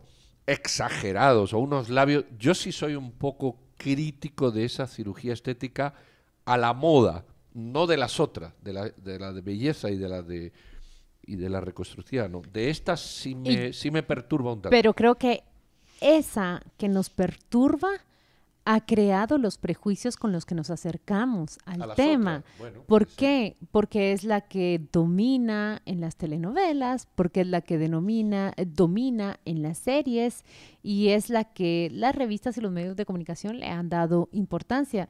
Pero la mastectomía, que él lo mencionó, las pacientes que necesitan una reconstrucción. Allí no estamos hablando de ninguna banalidad, sino de una Ahí necesidad. está bien. En, eso yo estoy de acuerdo que, que ocurra. Pero también estarás conmigo que hay unas cirugías, eh, no sé si denominarlas excesivas, eh, que generan unas dinámicas de... Sí. ¿Verdad? Sí, hay eh, Argelia Chilín dice, no criticó a las personas que deciden hacerse cirugía estética. Mi hermana lo hizo y eso mejoró su forma de quererse muy bien. Pero también hay personas que sufren accidentes y requieren de cirugías de ese tipo. Y son las menos contadas. Eh, esas son las menos y son las más importantes. eh, que lo que el doctor decía. Las cirugías reconstructivas en ocasiones son a las que menos se refiere uno y esas son las más fundamentales. Te puedes ver feo, pero no te puede faltar un trozo de mandíbula, pongamos un ejemplo, ¿no? Eh, sí, yo, yo creo que hay una labor, una labor muy interesante. Pero bueno, eh, ahí está. Pero, pienso que también deberíamos eh, hacer una cobertura, ya estoy pensando yo en enero, pero deberíamos hablar también de, ¿realmente sin senos no hay paraíso? O, o- o- o esta tendencia que tenemos, o que, hay- que existe en, en, no solo en nuestra cultura, en muchas otras, de incrementarse el, los senos para las mujeres, ¿qué significa? ¿Qué, qué, qué tiene detrás? Y por el otro lado, eh, ¿qué implica? Eh, ¿Realmente se carga la estructura, digamos, corporal de la persona con un peso para el que no estaba diseñada genéticamente? Hay muchas cosas que a mí me llaman la atención en torno Eh, a... es muy este- latino, Juan Luis. Es y me gustaría latino. hablar con psicólogos o, o con alguien que haya atendido a personas antes y después sobre este tema, ¿no? Eh, es muy latino. Eh, En Europa estas conversaciones no se dan tanto. Eh, en Euro bueno, ya que has sacado la conversación, en Europa los senos femeninos suelen ser más pequeños que los senos latinos tipo colombiano, venezolano o, o algo así. Y no existe, no existe esa cultura No de, incremento del seno. No, no existe o, o no existía eh, cuando, cuando yo vivía allá. Aquí sí existe cultu- cuando digo aquí me refiero más en Colombia Venezuela, sí existe culturalmente una necesidad de seno grande. Eh, ¿Por qué? Quizás porque culturalmente los hombres se han acostumbrado a, a ver senos grandes y entonces sin tetas no hay paraíso. Es decir, si no tienes esa dimensión, ya no eres vista como una mujer, eh, ¿verdad? De- Culturalmente, que esto no es una cuestión, digamos, natural. Bueno, Digo, que a los hombres nos atraigan los Ya te pechos que yo grandes. en Europa no he visto, no he visto ese tema. En Ah, Europa tú ves pues a las Yo me modelos. acuerdo de, de, de las, ¿cómo se llaman las alemanas que se ponen esos trajes, eh, ¿cómo se dice? Tradicionales del sur, los de voluptuosos. No, pero por ejemplo, tú ves las modelos que desfilan París, Madrid, son modelos de 1,80, senos pequeños y, y talla 4, no sé, o 2, o la que sea. Es decir, la Pero esa es mujer- la estratosfera, ¿no? ¿Perdón? Esa es la estratosfera, quiero decir, eso es así como una cosa muy, muy sofisticada y elevada. Bueno, creo, creo que este No es un tema no sé, para, no sé, para, para hablar, discutir, sin exacto, duda. da para hablar. Lo Pues que no vamos a decir es cómo nos gustan a nosotras, así que nos vamos a corte antes de que se te escape. Que conste que yo no tendría problemas con eso, pero nos vamos a corte y tengo, tengo un mensaje que trasladarles. Venga.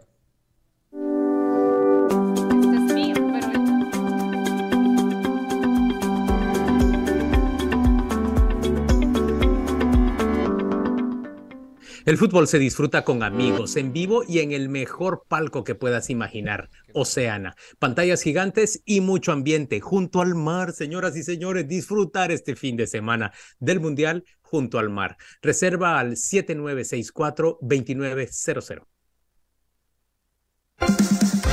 Fabulosa 889 está presentando Con Criterio. Ya regresamos.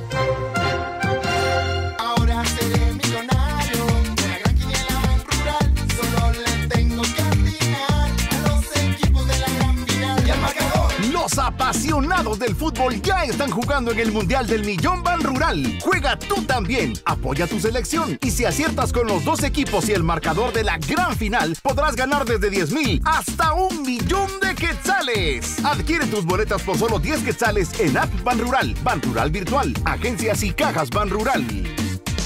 Celebremos los 75 años de Piedra Santa y el regreso de Filgua presencial. Piedra Santa te invita a conocer las últimas publicaciones y novedades de las mejores casas editoriales a nivel internacional. Ensayo, literatura, divulgación, literatura infantil y juvenil te acompañarán este fin de año. Visita nuestro stand y disfruta las actividades culturales para niños, niñas, jóvenes y adultos, con autores de Guatemala, Suecia y El Salvador. Cervecería Ambev Guatemala te trae la fórmula para las fiestas perfectas. Consumo moderado, beber mucha agua y comer mientras te diviertes. Sobre todo, evita el volante.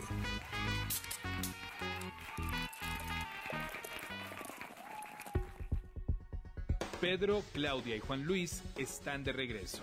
Continuamos con más de Con Criterio, aquí, en Fabulosa 889.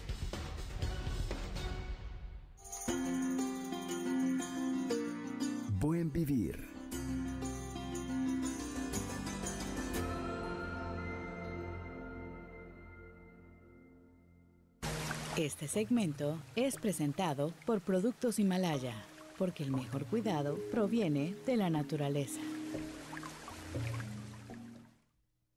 Claudia nos trae la primera recomendación del buen vivir. Miren, les voy a contar que vi esta película porque apareció entre las recomendadas de Netflix y yo cada vez que Netflix las recomienda, a veces tengo dudas de seguir la recomendación porque digo, bueno, tienen interés de sacar su, contenido y, y hacerlo más popular porque no, no, no es recomendación así orgánica de otra persona. Pero eh, sí, le di play y vi eh, Las Nadadoras. Es una hermosa película. Ustedes van a ver cómo estas nadadoras que están, eh, que son entrenadas por su papá, eh, Siria, van- ¿no? en Siria, claro que sí, en Siria. Te muestran la vida de gente normal allá en Siria, bajo ataques. Y cómo ellas siguen ese entrenamiento. Están en, en la selección nacional. El sueño es ir a representar a Siria en las Olimpiadas.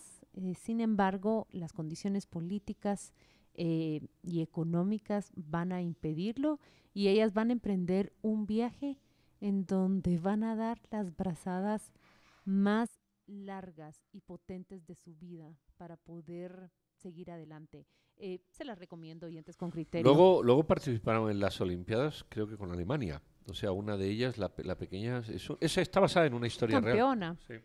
Es- está basada en una historia real y lo que me gusta es que le muestra la vida de la gente eh, común como nosotros, pero el nivel de afectación y de impacto que puede tener un conflicto político, un conflicto geográfico, voy a decir entre comillas, pero un conflicto de poder sobre todo.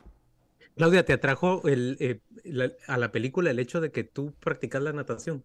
Ah, sí, sí, me, me llamó mucho la atención por eso, porque al final uno termina viendo cómo entrenan. Cuando llega a entrenar a Alemania, uno se da cuenta las cámaras para hacer, eh, para desarrollar fuerza en el nadador. Que im- eh, impactante, Juan Luis. La verdad es que se queda uno googleando qué significan esas cámaras, cómo los propulsan, cuál es el nivel de fuerza, nadar contra la corriente, pues, para mejorar la brazada.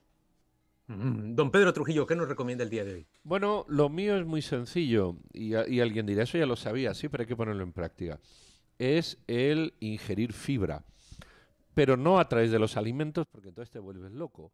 Y te vuelves loco porque tienes que hacer una relación de qué tienes que comer que tenga fibra. Entonces, para evitar eso, y comas lo que quieras, yo todas las mañanas lo llevo haciendo desde hace tiempo, me tomo un vaso en ayunas con una cucharadita de fibra. Entonces, la fibra... eh, ¿Y es- cuál fibra escoges? no, no, una fibra natural, sin sabor, insípida. Es una fibra insípida que venden en cualquier tienda de, de, productos de estos naturales. Oiga, deme una libra de fibra. Te dan una libra sin sabor. Bueno, yo la tomo sin sabor. Entonces la puedes mezclar con lo que quieras. Yo la mezclo con agua y te la bebes todas las mañanas. Y eso te genera una sensación de limpieza muy, muy interesante, eh, sobre todo estomacal e intestinal, además de otras cuestiones. No me preocupo por ver si tengo que comer pan integral, si tengo que comer menos A, menos B, porque tengo que comer fibra, sino que le meto las fibras al cuerpo. Sé que es una tontera, pero creo que genera un estilo de vida sano muy interesante. Miren, yo, yo les traigo una recomendación que, mm, que les va a parecer de lo más pedestre, pero... Sobre pero todo después de la fibra. No, viviendo en, en- en Guatemala me ha resultado utilísimo. Yo soy de los que se mete a los intestinos de la terminal y me encanta el mercado de, de la terminal. Y me he encontrado en, en el puro interior de la terminal, por donde están las semillas y donde están las especies, eh, estancos o puestos que le venden a usted los chiles mexicanos que aparecen en muchas de esas recetas que, que usted ve en TikTok o en Instagram o en algún otro sitio. Al hablar nosotros español, pues nos llegan muchos de esos, muchos de esos recetarios en donde hacen, por ejemplo, salsas con, con diferentes chiles. ¿Qué le parece a usted que allá dentro de la terminal, exactamente enfrente de donde se venden las, las semillas, usted puede encontrar, pero le estoy diciendo por pocos quetzales, cuatro onzas de chile morita, de chile de árbol, de chile chiltepín seco? Eh, la verdad que me, me- me parece un, un hallazgo si lo comparo, por ejemplo, con los precios de estos productos ahí en la terminal con, eh, con los precios que puedo encontrar en las tiendas especializadas, que hay algunas en, en la ciudad de Guatemala y en otros sitios. Pero usted puede encontrar gran cantidad de chiles secos, por supuesto, en, en la terminal, chiles de origen mexicano, que pueden hacerle mucho más interesantes las salsas que usted le añade a su comida. Ahí está, el chile chilín es el único que te ha faltado. Tan cantidad de chiles puede uno encontrar en un árbol, no sé dónde. Pero bueno, sea con los chiles que le dan un sabor a la comida especial, sea con la fibra que genera una digestión mejor, y cuando ya esté usted cómoda, sea con la película que doña Claudia nos ha puesto, puede tener una, una mejor vida, un mejor vivir. Tómese su tiempo para recrearse en usted mismo. Primero con la cirugía esta plástica o estética, luego con la comida, las películas y otras cuestiones. Volvemos con, con los comentarios finales antes de decirles adiós. Buen vivir.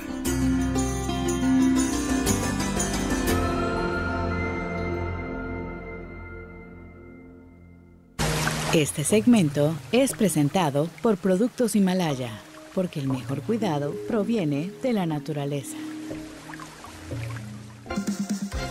Fabulosa 889 está presentando Con Criterio. Ya regresamos. Ahora seré millonario con la gran quiniela rural. Solo le tengo que atinar a los equipos de la gran final. Y al marcador. Ya se siente la emoción del Mundial. Juega tú también y gana en el Mundial del Millón Ban Rural. Adquiere tus boletas por solo 10 quetzales en App Ban Rural, Ban Rural Virtual, agencias y cajas Ban Rural. Y si aciertas con los dos equipos y el marcador de la gran final, podrás ganar desde 10 mil hasta un millón de quetzales. Juega a ganar con Ban Rural. Siempre me acompaña el sabor de mi tierra al despertar. Y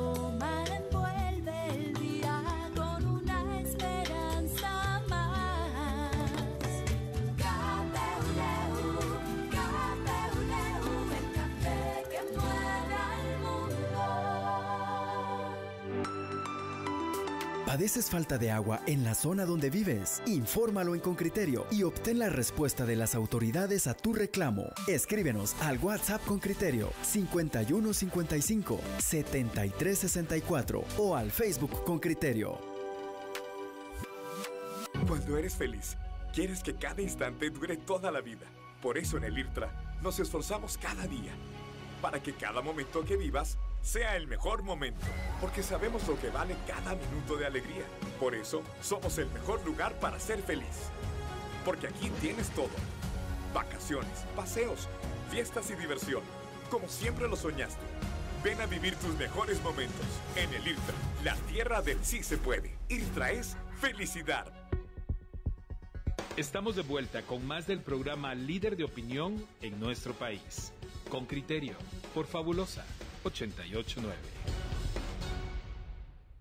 Aquí hay un mensaje muy, muy bonito de Carlos Carpio. Dicen, yo ya vi las nadadoras. He decidido que si veo gente en las calles que evidentemente son migrantes en camino, trataré de ayudarlos. Ese es el mensaje principal. Qué bonito, qué es. bonito mensaje y qué bonito, qué bonita idea le movió a, a, bueno, a, a pensar esa película que nos sugería Claudia.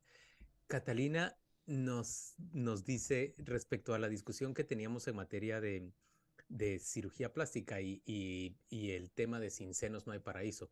Ahora resulta, dice ella, que las colombianas por costumbre nos ponemos senos. Vea pues, es cierto que Colombia tiene un alto nivel de cirugías plásticas solo por belleza y que mucha de nuestra cultura gira en torno de la belleza, pero no, en mi familia a nadie por costumbre le han puesto senos. Y claro, que hay más connotaciones en cuanto a belleza para gustarle a los narcos.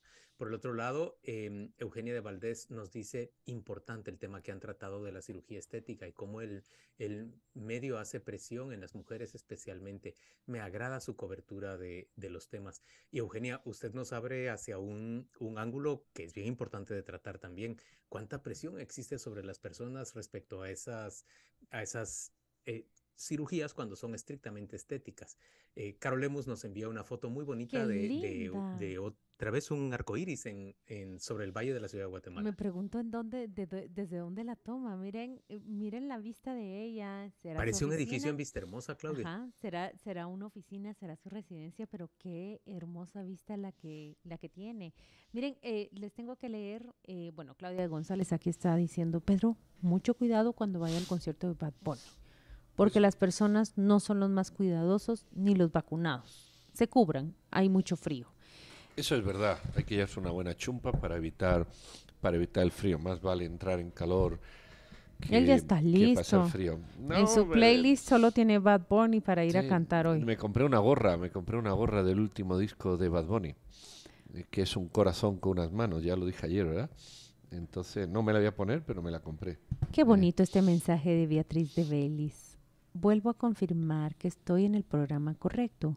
Ustedes tres hablan de todos los temas y siempre de una forma profesional. Muchas gracias por ese mensaje, Beatriz de Vélez.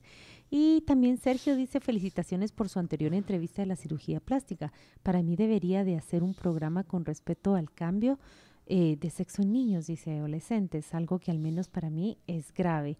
Dice Rocío Bris, buenos días, empecé tarde en la entrevista, ¿podrían darme el nombre del doctor que entrevistaron? Ya Ahí- le contestó lo Pedro pasé. Trujillo, ya, ya le Fíjate contestó. que esta pregunta que hace el oyente tiene una trascendencia mayor. Eh, el cambio de sexo es mentira. El otro día estuve viendo un programa mm, jurídico médico al respecto. El cambio de sexo es mentira. Lo que te cambian es la forma del sexo para que parezca el sexo contrario, pero es mentira. No existe tal cambio de sexo en su concepto de puridad semántica. Entonces, si tú tienes un pene, te lo cortan y te hacen una especie de vagina, una especie, pero no tiene nada que ver con una vagina, y viceversa.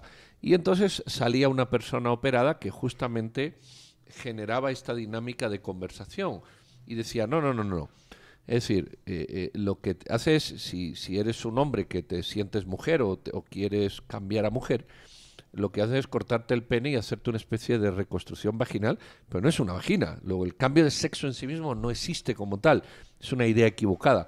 Y genera dinámicas de falta de comprensión suficiente, porque muchas personas, esta persona era una de ellas, pensaban que este cambio de sexo implicaba un cambio, cuando realmente lo que hay es una adaptación al sexo. Me, me parece una, una, una conversación interesante por cuanto de claridad conceptual eh, termina poniendo sobre la mesa. Bueno, a mí también me parece interesante, pero creo que es una conversación que, que tiene que priorizar eh, la opinión de, de quienes protagonizan esas transformaciones. A mí Miren, me, cuestan parece- mucho esos temas, ¿saben? Me, parece que hay un tema mm, eh, relevante que no hemos mencionado y es que el diario El Faro, 15 miembros del diario El Faro, el diario digital de El Salvador, han presentado una demanda contra el fabricante del programa espía Pegasus en una corte federal de Estados Unidos.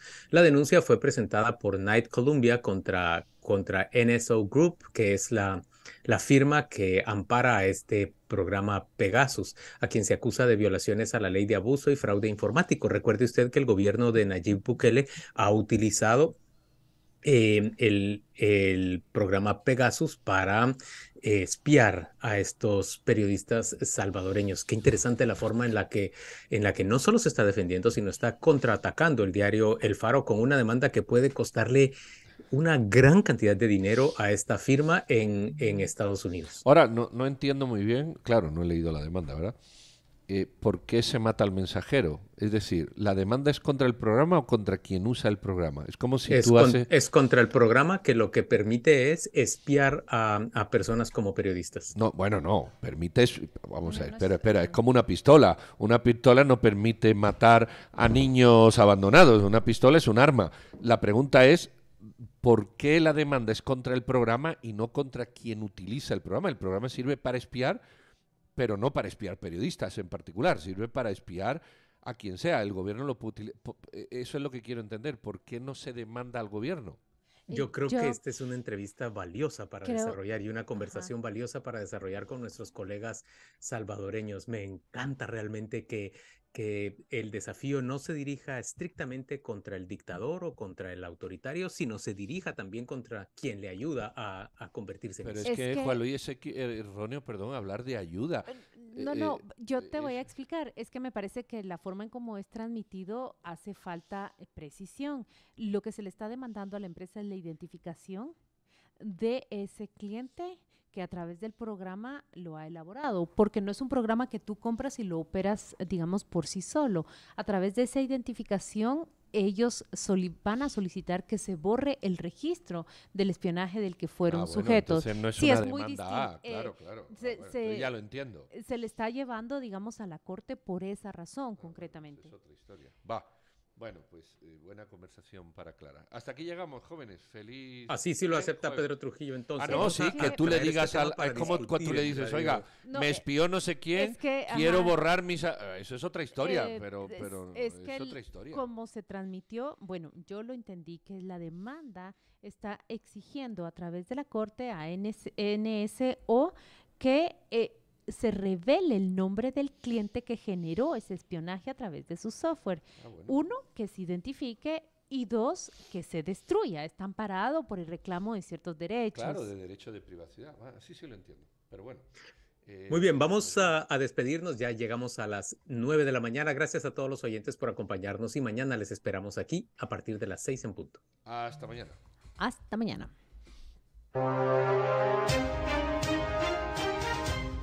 El programa líder de opinión de nuestro país termina así su edición de hoy, pero dejamos la invitación para que de lunes a viernes inicies tus mañanas con criterio. Te recordamos que los comentarios emitidos durante este espacio son responsabilidad exclusiva de sus autores y en consecuencia ajenos a esta estación.